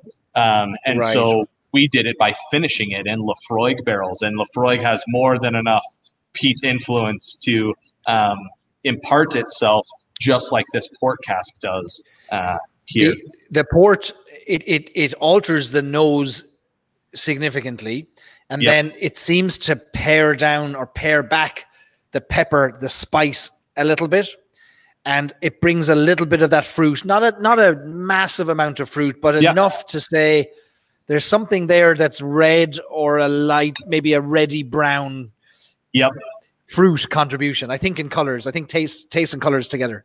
It, it definitely does, and and there's a slight influence. I'm not sure if you can see it here, but there really is that kind of that ruby wine color translated through. You have much better equipment um, than I do, but there is a very nice, almost purplish hue, that ruby hue that really came in um, uh, from from that port. And you're exactly right. The the flavor, the interesting thing is that that is actually 90 proof whiskey where Yeah. the quarter cask is 86 so not significantly higher but you would assume that it would be a more bitey version of that and instead that wine characteristic really rounded that that profile out um, and yeah like i said Yeah. very proud of this again these are those gambles that we roll the dice and uh, if it if it works great if it doesn't then you know we have to we have to scramble and figure out. So both of ours Right. our old saints have have done really well. And and i'm really excited. Uh, i would tell you what this year's uh, is going to be but i don't actually know that yet. We we really do wait until one to two months before to pull available casks together and things that we have in the works to taste and and pair things because individually they might be interesting nuanced and complex but put together they might not play well in the sandbox together. So it's important for us to to hash that out and and create something kind of new, really leading up to the date. We're also young enough that if I taste it now, six months before uh, we're going to pull it from that cask, the the amount that it can change uh, could make it unrecognizable. So making decisions about what what 2021 is going to be um, is difficult. I can tell you it will have sherry influence in it somewhere. I can almost Yeah. guarantee that will be a. When do you Uh, make that announcement typically? Uh, when have you made that historically each year? Usually we do it uh, right around that that first week of March, the first of March, um, to to let people know what they'll be getting on the 17th. Um, this year, uh, or say 2021, I believe it falls on a Wednesday, uh, March 17th. So we always do our anniversary on the Saturday and Sunday before. We have two days of live music and pipe bands and um, Irish sessions and and Irish food um, to to do part of that real celebration of the release of Old Saints. Um, and so that'll be, I think it must be the 12th and 13th or 13th and 14th of this year uh, of 2021, excuse me. And, you know, hoping at that point we can all gather again, uh, together again safely and, and enjoy that. Those are special times for us as well. And, and that name, Old Saints, comes from that kind of uh, lore or legend that uh, this the Irish monks created whiskey, invented the spirit, and um, it always was the the keep of the abbey uh, or the what the monks would keep to themselves was the best, the top shelf. And so we have on St. Patrick's Day the Old Saints Keep, kind of an homage to St. Patrick uh, and the early Irish monks who invented this spirit, uh, but also our, our anniversary and our kind of top shelf, our special release that we put a lot of a lot of thought into every year. It's your your dream cask every year. Here, It's here our dream cask. It is. Just increase just increase the price to about four or five hundred dollars just to, to compare. Yeah. I mean, hey, you know what? It's if, if people will buy it, you know that it is a funny thing. That is one thing that we are very price conscious. So you know, even when we're talking about our comparisons here with with Redbreast, I I purchased mine for um, sixty dollars from uh, a liquor store here in town, and I mean ours is forty dollars on that same shelf, sitting about Yes. um, you know ten rows down from from Redbreast, uh, and so that that has uh, something that we're really price conscious on this. This being a little bit more special um, and a single release, and especially because we really feel the cost of those barrels and th- that creativity also comes comes with a price point of shipping barrels doubt. over No from doubt. Portugal. The Um, when I, when- when I first started learning about single pot still and listening to brand ambassadors talk about what we should be feeling in our mouths and what we should be tasting, the characteristic component notes or, or characteristics of a single pot still being that creaminess in the mouth and that spice and that coating on the mouth. And for the longest time, I couldn't get that. I was, I was like, where where is this? I mean, I'm it's in my mouth, and I, yet I, I'm not getting this sure. this uh, these notes. And I, I remember mentioning this to our friends when we were in in in the distillery in the tasting room at Talnua that these might be the first whiskies where the spice in terms of that peppery component of the single pot still for me has come through so obviously I can absolutely say that's a single pot still. Uh, More so than many of those, especially the younger single pot stills coming out of Ireland, they're they're o- the the spice and that creaminess and that mouth coating is overpowered by an alcohol forward, spirit forward, Yeah. unfortunately not yet fully wood balanced Yep. element. Um, and that's not here. Whereas now I've been washing this around my mouth. I need to brush my teeth after this, and that's a good thing because it's coating my Mhm. mouth. It's coating my teeth. That's what pot Yep. still should do. um, had a fantastic conversation um, with Bernard Walsh uh, in 2017. Yes. of writers' tears and of um, Writers' the Tears and the Irishman. Um, and his hospitality, we were at Royal Oak at, um, um, at Walsh Distillery at the time. Um, his hospitality, I, I mean, we can't speak enough of how amazing uh, he treated us as starting this little craft distillery. And he said, uh, one thing that really stuck with me was making pot still whiskey comes with it an inherent danger that it has a lingering quality to it. And if it lingers and it's a negative quality, there's no hiding that. Um, but it can be the most special part about the whiskey if it lingers and develops and, and becomes a, a special part of, of that. And I've thought a, about a lot about that because again, with with more um, linear flavor profiled whiskeys that don't have that coating mouthfeel that that unmalted barley really imparts on the spirit. Um, you put yourself in a danger zone of that sticking around and being unfriendly. Um, and I've been very proud, um, not too proud to say how proud I am of of that quality of the lingering factor existing there, um, but not not being offensive over time, but it's but you know to it's not going anywhere. I mean, it definitely sticks around with you uh, over time. We, what, we can what am I also getting? Give. Go ahead, Megan. Sorry, I keep interrupting you. No, we can also fault. give Bernard um, credit for for telling us to get a gin still uh, to not taint our whiskey Mhm. still. He was like, "Whatever you do, do not." And I was a distiller before too, so he definitely, he definitely. I mean, all of a sudden we came back from Ireland, and it was like, we've got to buy another still. Like we can't, we can't put botanicals in there. He's exactly right. It was one of those oversights of you know trying to get up and get going. Right. It was, uh, it was one of those Expensive uh, trip. Yeah, it was. It was. Um, but when, when I'm tasting, when, when I'm getting that that lingering, I, I mentioned especially with the quarter cask to begin with, that dry feeling um, near the end. What is that dry feeling that I'm getting? Is it a high tannin content? What is it that I'm experiencing? Do you think? I believe it is that tannic quality. Um, I don't. I'm just making it up at this point. I don't actually know. I would love to do and to be able to afford kind of a mass spectrometer of the compounds present um, that would really give us that indication. It is tannins, right? You have a high tannic proportion. We know we do. You always do with virgin American oak, especially relative to um, any second fill bourbon cask, which is a much more familiar experience. Sounds like that you've had, of course, with some of the newer pot still whiskeys coming out of Ireland. Um, that that tannic quality um, over time, theoretically, would shift in dryness profile to a sweeter profile.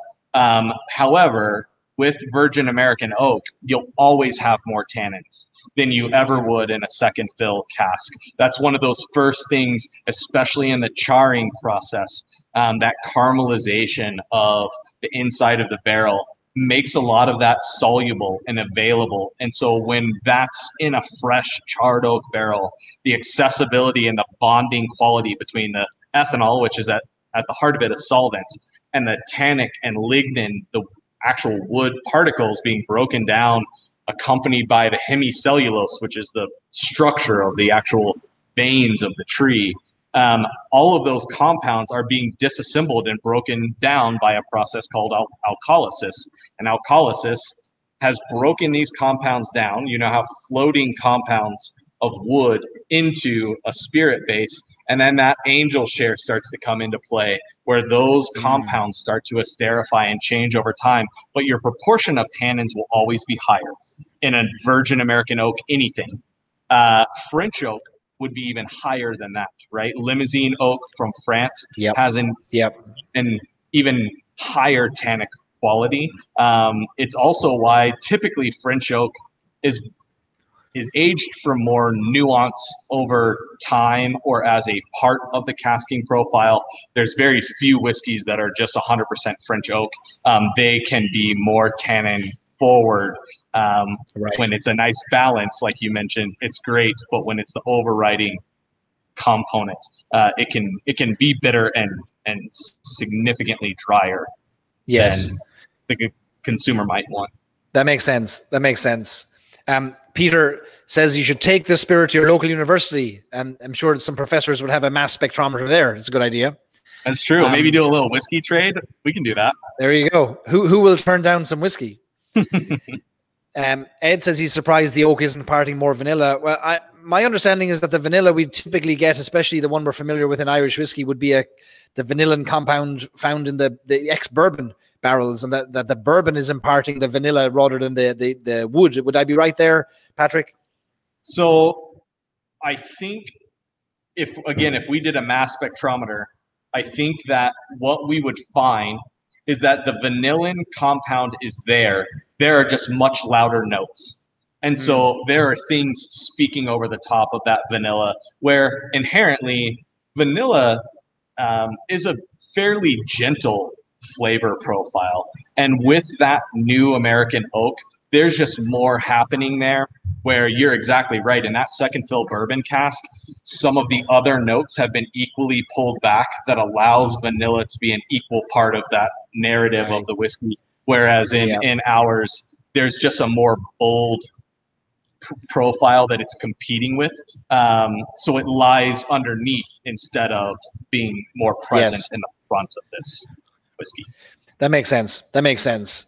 Mhm. Um, this is a a lovely whiskey. Um, I'm I'm loving the component analysis that we're doing, and I'm trying to understand what I'm getting here versus what I might get in an Irish single pot still. But they're just very different beasts. I think um, they're they're similar in in name only, and I think that's okay. I think you're you've got this wonderful expression, two expressions that are inspired by. They're not derived from an Irish single pot still. They're inspired by, and you're you're following the technical file, but you're using the best of the ingredients you have locally and a unique local approach in Denver to or in Colorado to to make the spirit that you have. And I don't think anybody should compare these alongside each other. I made that point in the group earlier this week. Somebody shouted at me for trying to compare Redbreast 12 year old with your whiskeys. And I said, well, it's not really a comparison as much as a side by side. Yeah. It's a love, it's a love in, it's a love fest for all of these together. right. Yeah. Yeah. yeah. And Yeah. and I think uh, you know two two things. One, uh, that that redbreast. Uh, anytime I try whiskeys, I rarely ever try them in a vacuum. I always try something next to something my palate is very locked in and geared towards, whether it be a single malt of a certain style, a pot still, or a bourbon of a certain style. Because tasting things in what I consider a vacuum taints the flavors if there's no way to if you're not setting true north somewhere in your mind tasting Right. things in a vacuum give you different flavors if you had a bowl of you know marinara pasta before you tried this and uh, uh, it would be a very different experience so having something to try uh, part of the reason i love she also knows how much i love marinara pasta uh, but but having having redbreast is kind of helps people who have had an experience with pot still whiskeys before have what they self-describe even on the bottle as the definitive style of, of pot still Yes. whiskey um, having that as a way to then just understand not compare even betters or worse but understand where that whiskey is coming from.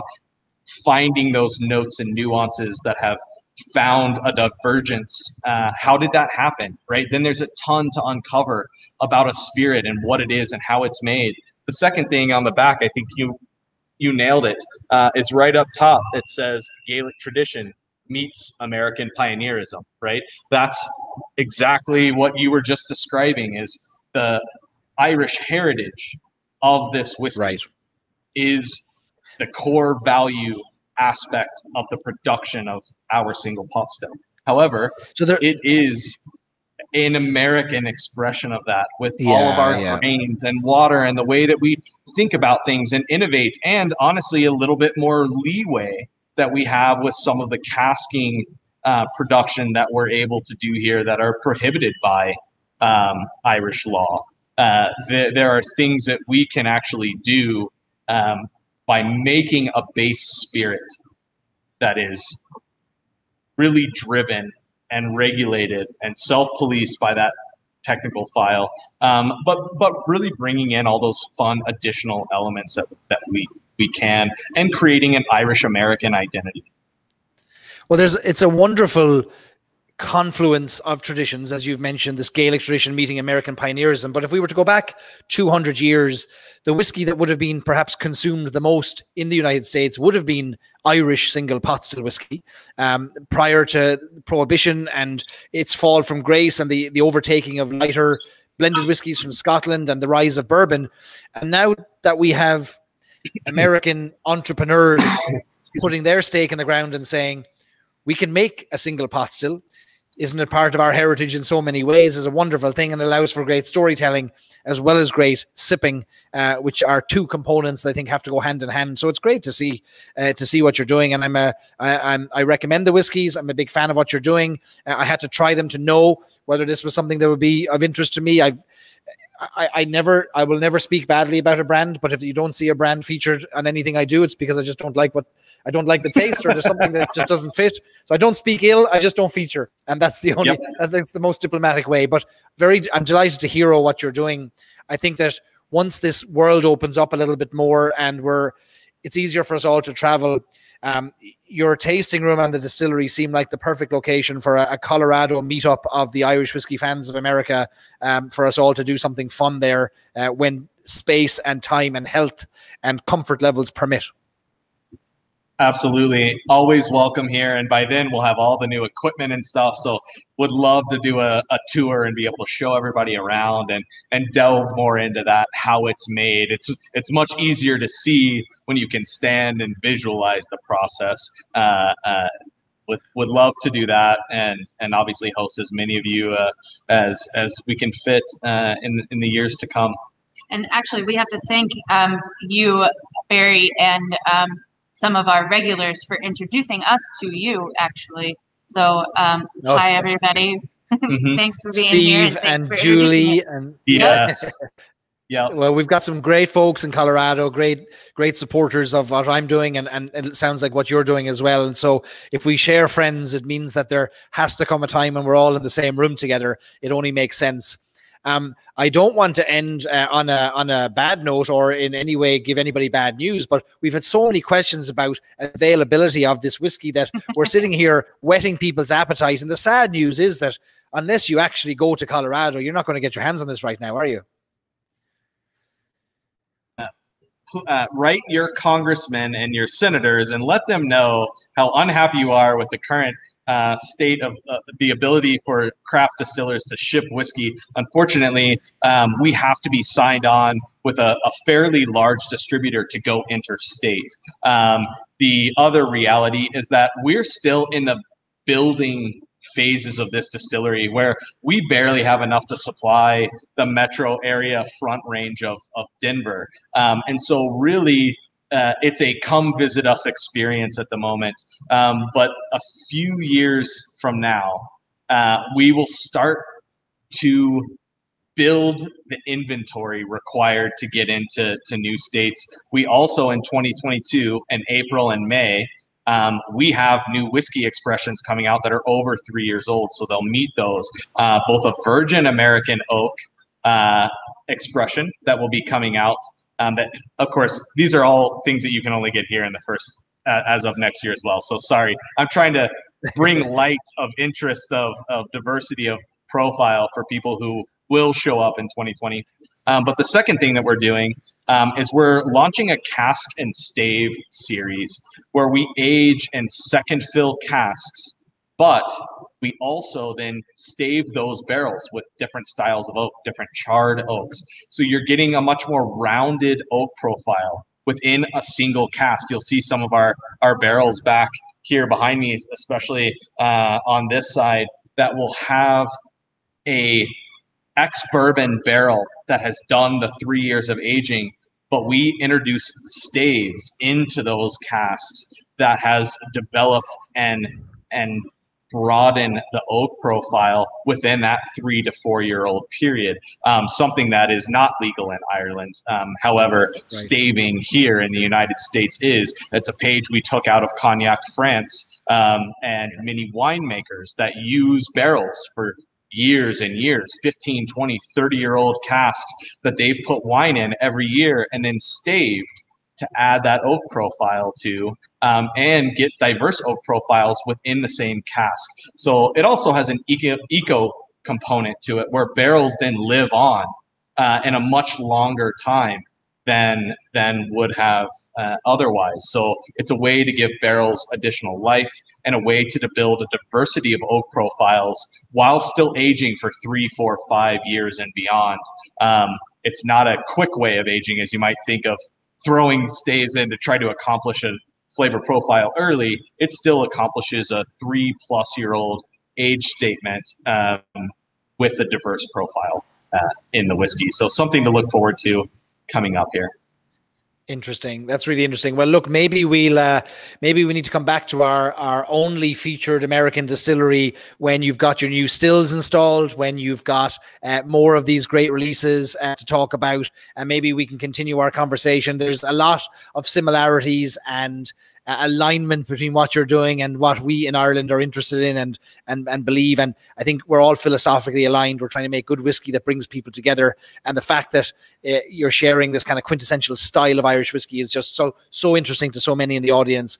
Great comments that I'd encourage you to go back yourselves maybe tomorrow and look at Facebook and YouTube and see some of the great comments. I didn't put them all on the screen; they were coming in uh, hot and fast, but great reception and and people are really loving what you're doing. Um, let me see. There was one I wanted to put up here. Catherine says, "You all rocked this live cast. Can't wait to return to the distillery to see your changes." Um, Brian Redden is on to uh, round two of his Old Saints Keep. Johnny uh, says to keep working hard. You have a great slice of an untapped whiskey world and uh, you're being encouraged to get more Old Saints Keep. and um, let me see. Yes, uh, we also had Matt Healy here. Matt, uh, buddy of ours in Ireland. Matt has been to your distillery, hey, Matt. Matt of potstill.com. Um, I know that you did a very in depth technical discussion of distillation. So, for those of you who are particularly interested in tech, the technical aspects of everything from grain silos to uh, grain vacuums, etc. Matt has gone into detail with you on that. So check on potstill.com for an interview with with you and and Matt.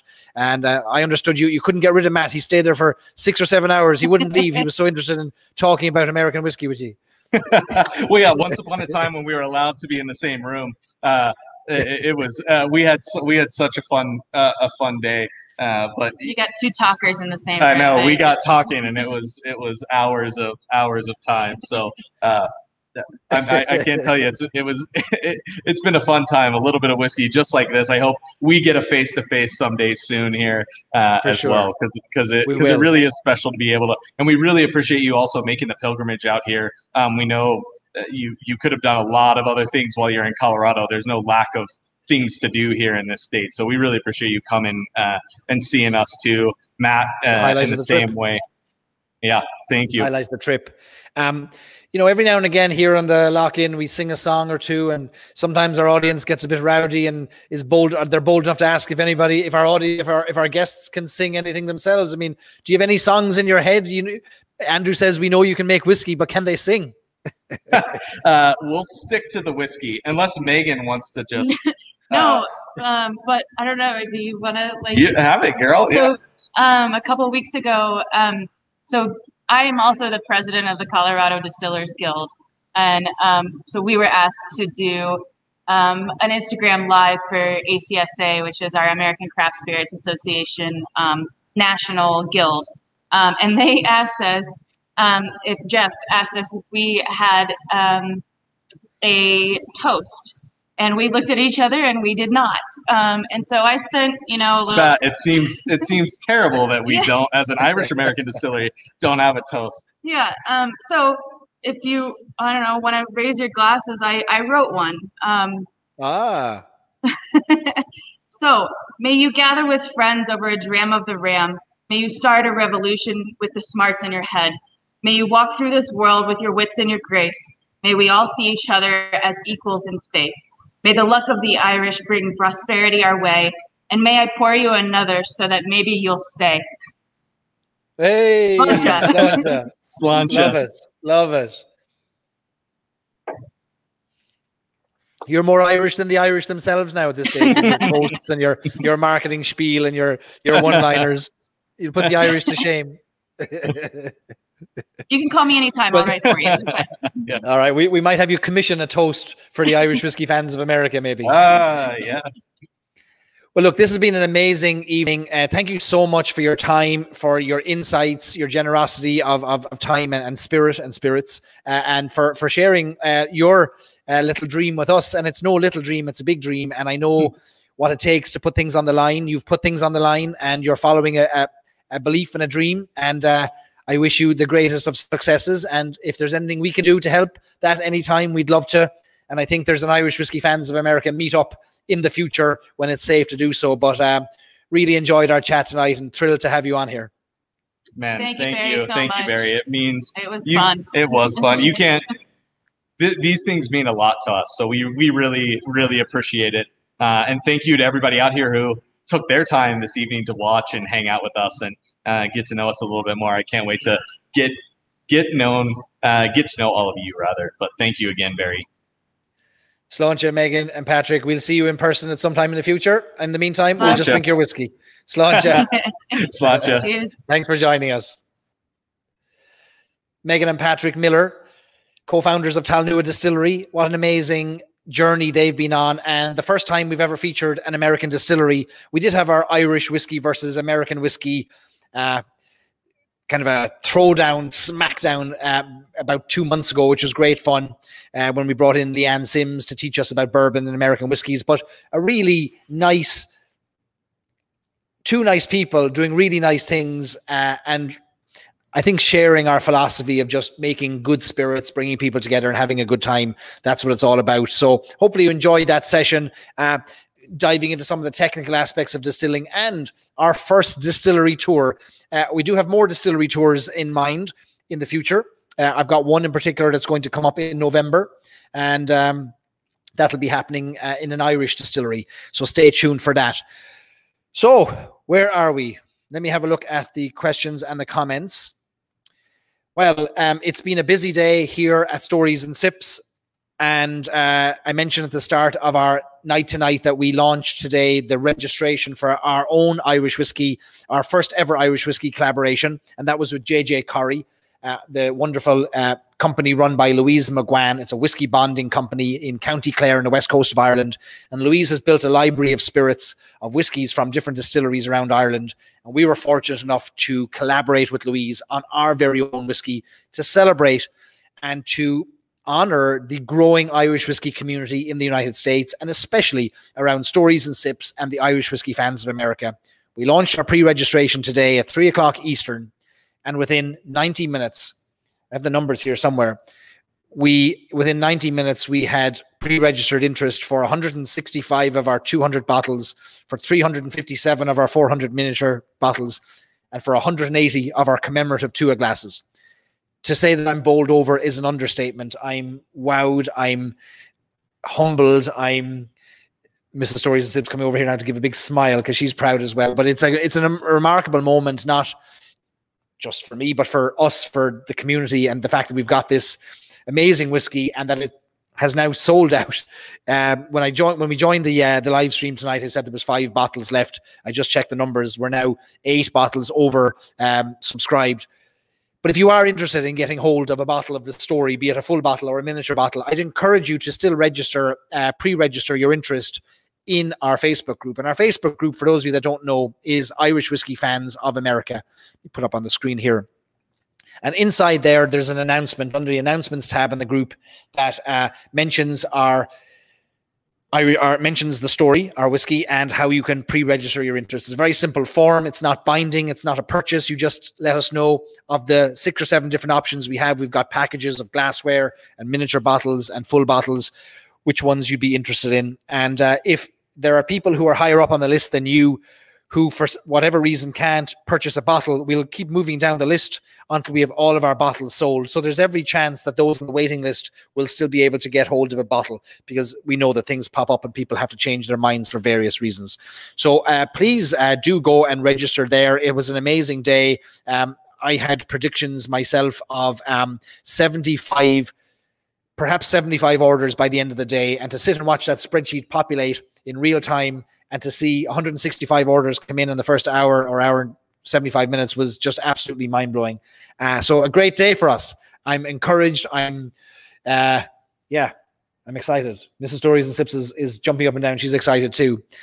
We're this is the first collaboration, and if this collaboration is anything to go by, uh, there'll be more. And I think we're what we're doing here now is we're we've started on a journey, and the story itself contains many chapters, but the story itself is a chapter in the ongoing story that we're going to tell about Irish whiskey, bringing people together and uh, learning as we go. I'm learning every day, uh, and I'm asking those who are much smarter than me to help me understand what happens in this world of Irish whiskey. And there's many who are joining here tonight that have better palates and better understanding. And that's the beauty of this community is that there's so many interested and interesting people sharing with one another about their love for Irish whiskey. And it's an every day is a school day in our group. So thank you so much for your support. It means the world to me. And I cannot wait until we have this whiskey in everybody's hands. And we're going to do a massive online tasting. Um, we have some, we let's just say we have some plans for doing something very special for for online event to launch the whiskey. Once it's in your hands or to to, to officially open the bottles together. And uh, i'll be announcing that in the next few weeks. Our whiskey gets on a pallet on wednesday and all going to plan. Tuesday the labels arrive at the farm at jj Corry, which means between tuesday and wednesday 600 labels have to be applied. 400 miniature labels and 200 full size labels. And then they have to make their way onto a pallet. The pallet is going to find its way to a ship, and it is going to spend um, 12 days at sea to get to us in uh, on the east coast of the United States, where it'll be picked up and transported to California. And our retailer, uh, Folsom Wine and Spirits, will uh, then be able to take our orders. So if you're on the list, if you registered your interest today, you'll be getting an email from me in the next week or two, letting you know to confirm availability of the things you selected. And then on the day when it is finally available, which I would anticipate being the end of November, early December, you'll get an email uh, asking you to make your purchase. As simple as that. And then once you have your purchase, maybe a week later, we'll do an incredible live stream event. Uh, that's what we're going to do. Uh, exciting times. Exciting times. Johnny says we're doing the God, we're doing God's work. That's an exaggeration, a big exaggeration, but we're having fun and we're drinking whiskey, and isn't that all that matters? Uh, Gary says he never had a doubt. So excited. Oh, it was a great day. It was a great day. Tony says, You and the missus have done a fantastic with all of this. Yes, behind the Mr. Mr. Stories and Sips is a is a much more uh, level-headed, balanced human Mrs. Stories and Sips. And so we've her to thank for the support and the balance and the encouragement. um thanks patrick uh, for that appreciate it and thanks maureen uh, so yeah it was a great day and i think we've broken some records with selling out a jj Corry release uh, in such time or selling out pre-interest anyway uh, or establishing pre-interest uh, pre-registration interest which is great news. So everyone's a winner. Great whiskey making its way to great people from great distilleries and great whiskey companies. Nobody's losing. Nobody is losing. Wayne says he can't wait for the release Maureen, you know, that's a great idea. I had that idea as well, and I never followed through on it. I wonder if I still have time. Wouldn't that be fun? Put a tracker on the pallets so we can follow it like NORAD tracks Santa. I wonder if they'd drop a little a little tracker in there. All right, I'll ask them. Patrick says Homeland Security would love that. um, yeah, for so for everyone who registered probably before five o'clock Eastern today, I'm pretty sure you got your bottle. I'm pretty sure you're guaranteed to get your bottle. Uh, we're we're oversubscribed as of about seven o'clock Eastern, I think, or eight o'clock Eastern, is it? Um, eight o'clock Eastern. I think you're oversubscribed. Ed doesn't want his tracked off the grid. Off the grid. Well, that's a good idea. Peter says we can track it by the ship name. All right, that's what we're going to do. If we can't put a tracker in there, we'll get the ship's name and we'll track it on the uh, the maritime tracking website and and we'll keep an eye on it and we won't sleep till it gets safely to American shores or till it gets safely into our hands. All right. I'm going to, uh, okay, so I'm not going to go on much longer in a live stream tonight. It's been a long day, big day. Um, again, another mention Waterford Distillery. Get your hands on, if you haven't already ordered Waterford, there's going to be big things coming from Waterford in the future. And I'm excited to see what, what, um, you think of the Waterford releases, these young releases that have had an incredible journey, uh, are going to uh, what your feedback is going to be on those. If you are interested in Waterford whiskey, check out the details of how to purchase online in our Facebook group. Um, Dermot says it's time to get moving on the story 1.2. yes, there have been conversations. There have been conversations. Um, yeah, we have to figure out a plan for how we make this uh, something special I want anything we do to have some really special elements to it, something that you can't get anywhere else. Um, if this were a time when we could do things in person, believe me, it would have involved many in person events. Uh, we can't do that sadly, but maybe next year's release, or if we do one every six months, we're still talking and thinking about what that might look like. But look, let's get over this one first, and it's still not in our hands. We have many hurdles to cross and waves to to traverse before we can celebrate too much.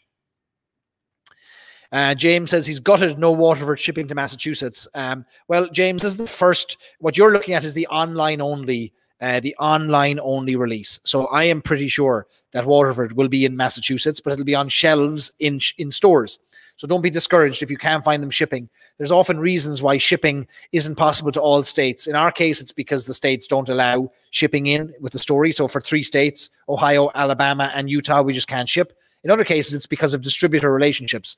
So there may be distributor relationships that prevent separate selling of Waterford Distillery in that state online, of that whiskey online, and so the distributor in the state may have a um, may have first preference or, or, or, priority on selling. So just stay tuned, um, and we, I'll find out for you on Massachusetts, and I'll, I'll put that in the Facebook group for you.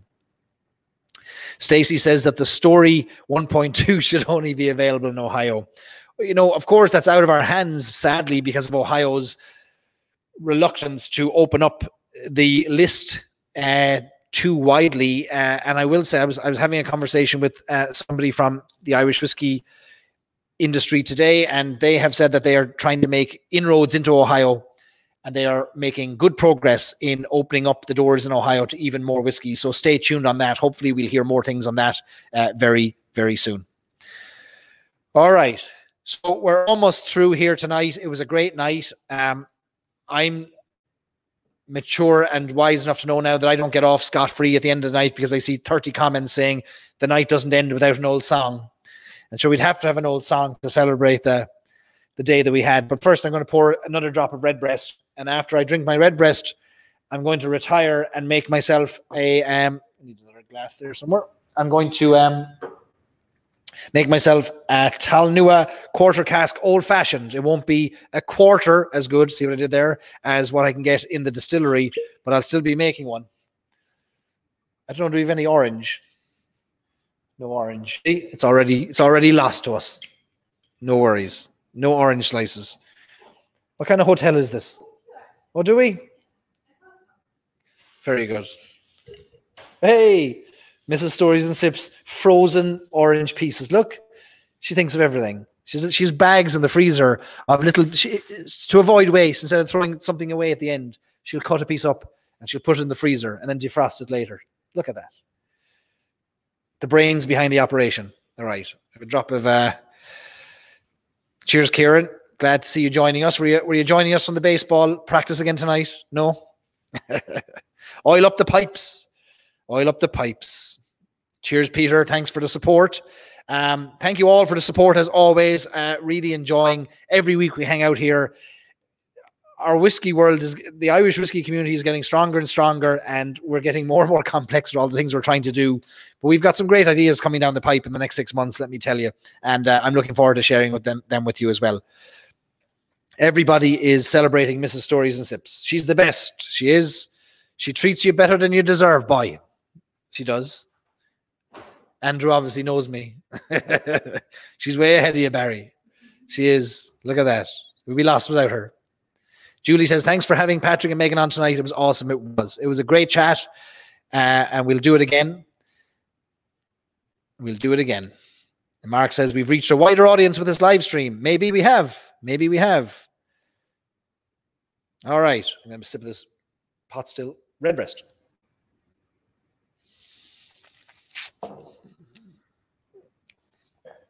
Kieran knows knows me too well. Tis far from frozen oranges you were reared. I don't think I saw an orange till I was 20. I don't think I saw shoes till I was 16. All right, so what are we? We're singing the old triangle. That's that's the uh, in Ireland. Growing up, at the end of the night in the pub, they turn the lights on, or in a club, and they play the national anthem, and everybody would stand up and sing the national anthem. That was the uh, the sign to go home. You couldn't sit down after that. You have to grab your coat and go home our version, our own national anthem for our little uh, dominion, our community is the Auld Triangle, whether we like it or not. All right, Tony, with some interesting cocktail suggestions there. Redbreast 12 goes with a cherry sundae and later Tootsie Rolls. Tony, anything you can do to get it into you? I don't think Redbreast will complain. All right. Uh, uh so, for the first time on our new camera equipment and new lighting, the Auld Triangle the throat.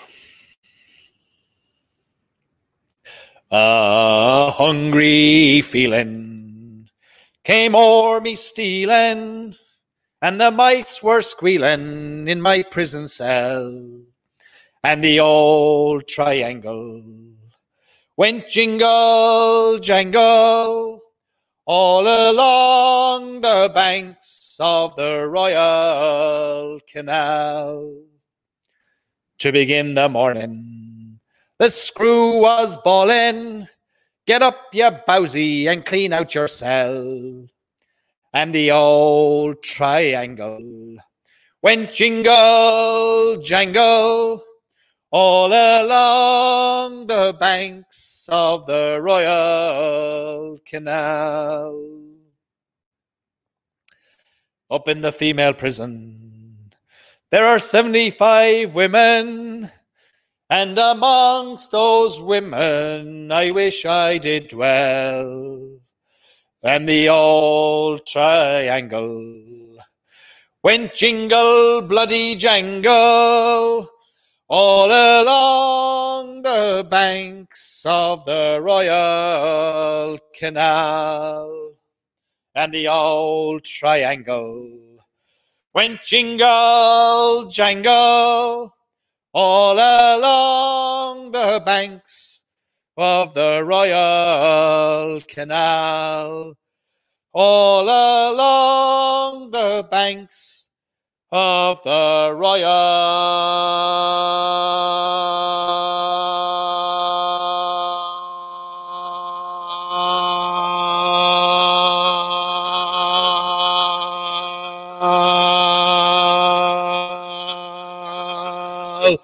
Canal. You! Sláinte, everybody, a great night. Thanks to Megan and Patrick for entertaining us and sharing their distillery and their dream with us. Thanks to you for your support for the story. Tell your friends about what we do here. They might like it. And we'd love to grow our community. So share it far and wide. I love hanging out with you. It's the highlight of my week. The entire week builds up to this. So I look forward to seeing you back here next week. And look forward to seeing you in the Irish Whiskey Fans of America Facebook group in the meantime. So, sláinte everybody. Thanks for the support. Thanks for everything you're doing for Irish whiskey as well by consuming it and ordering it. Um, you're making the Irish very happy. Sláinte until next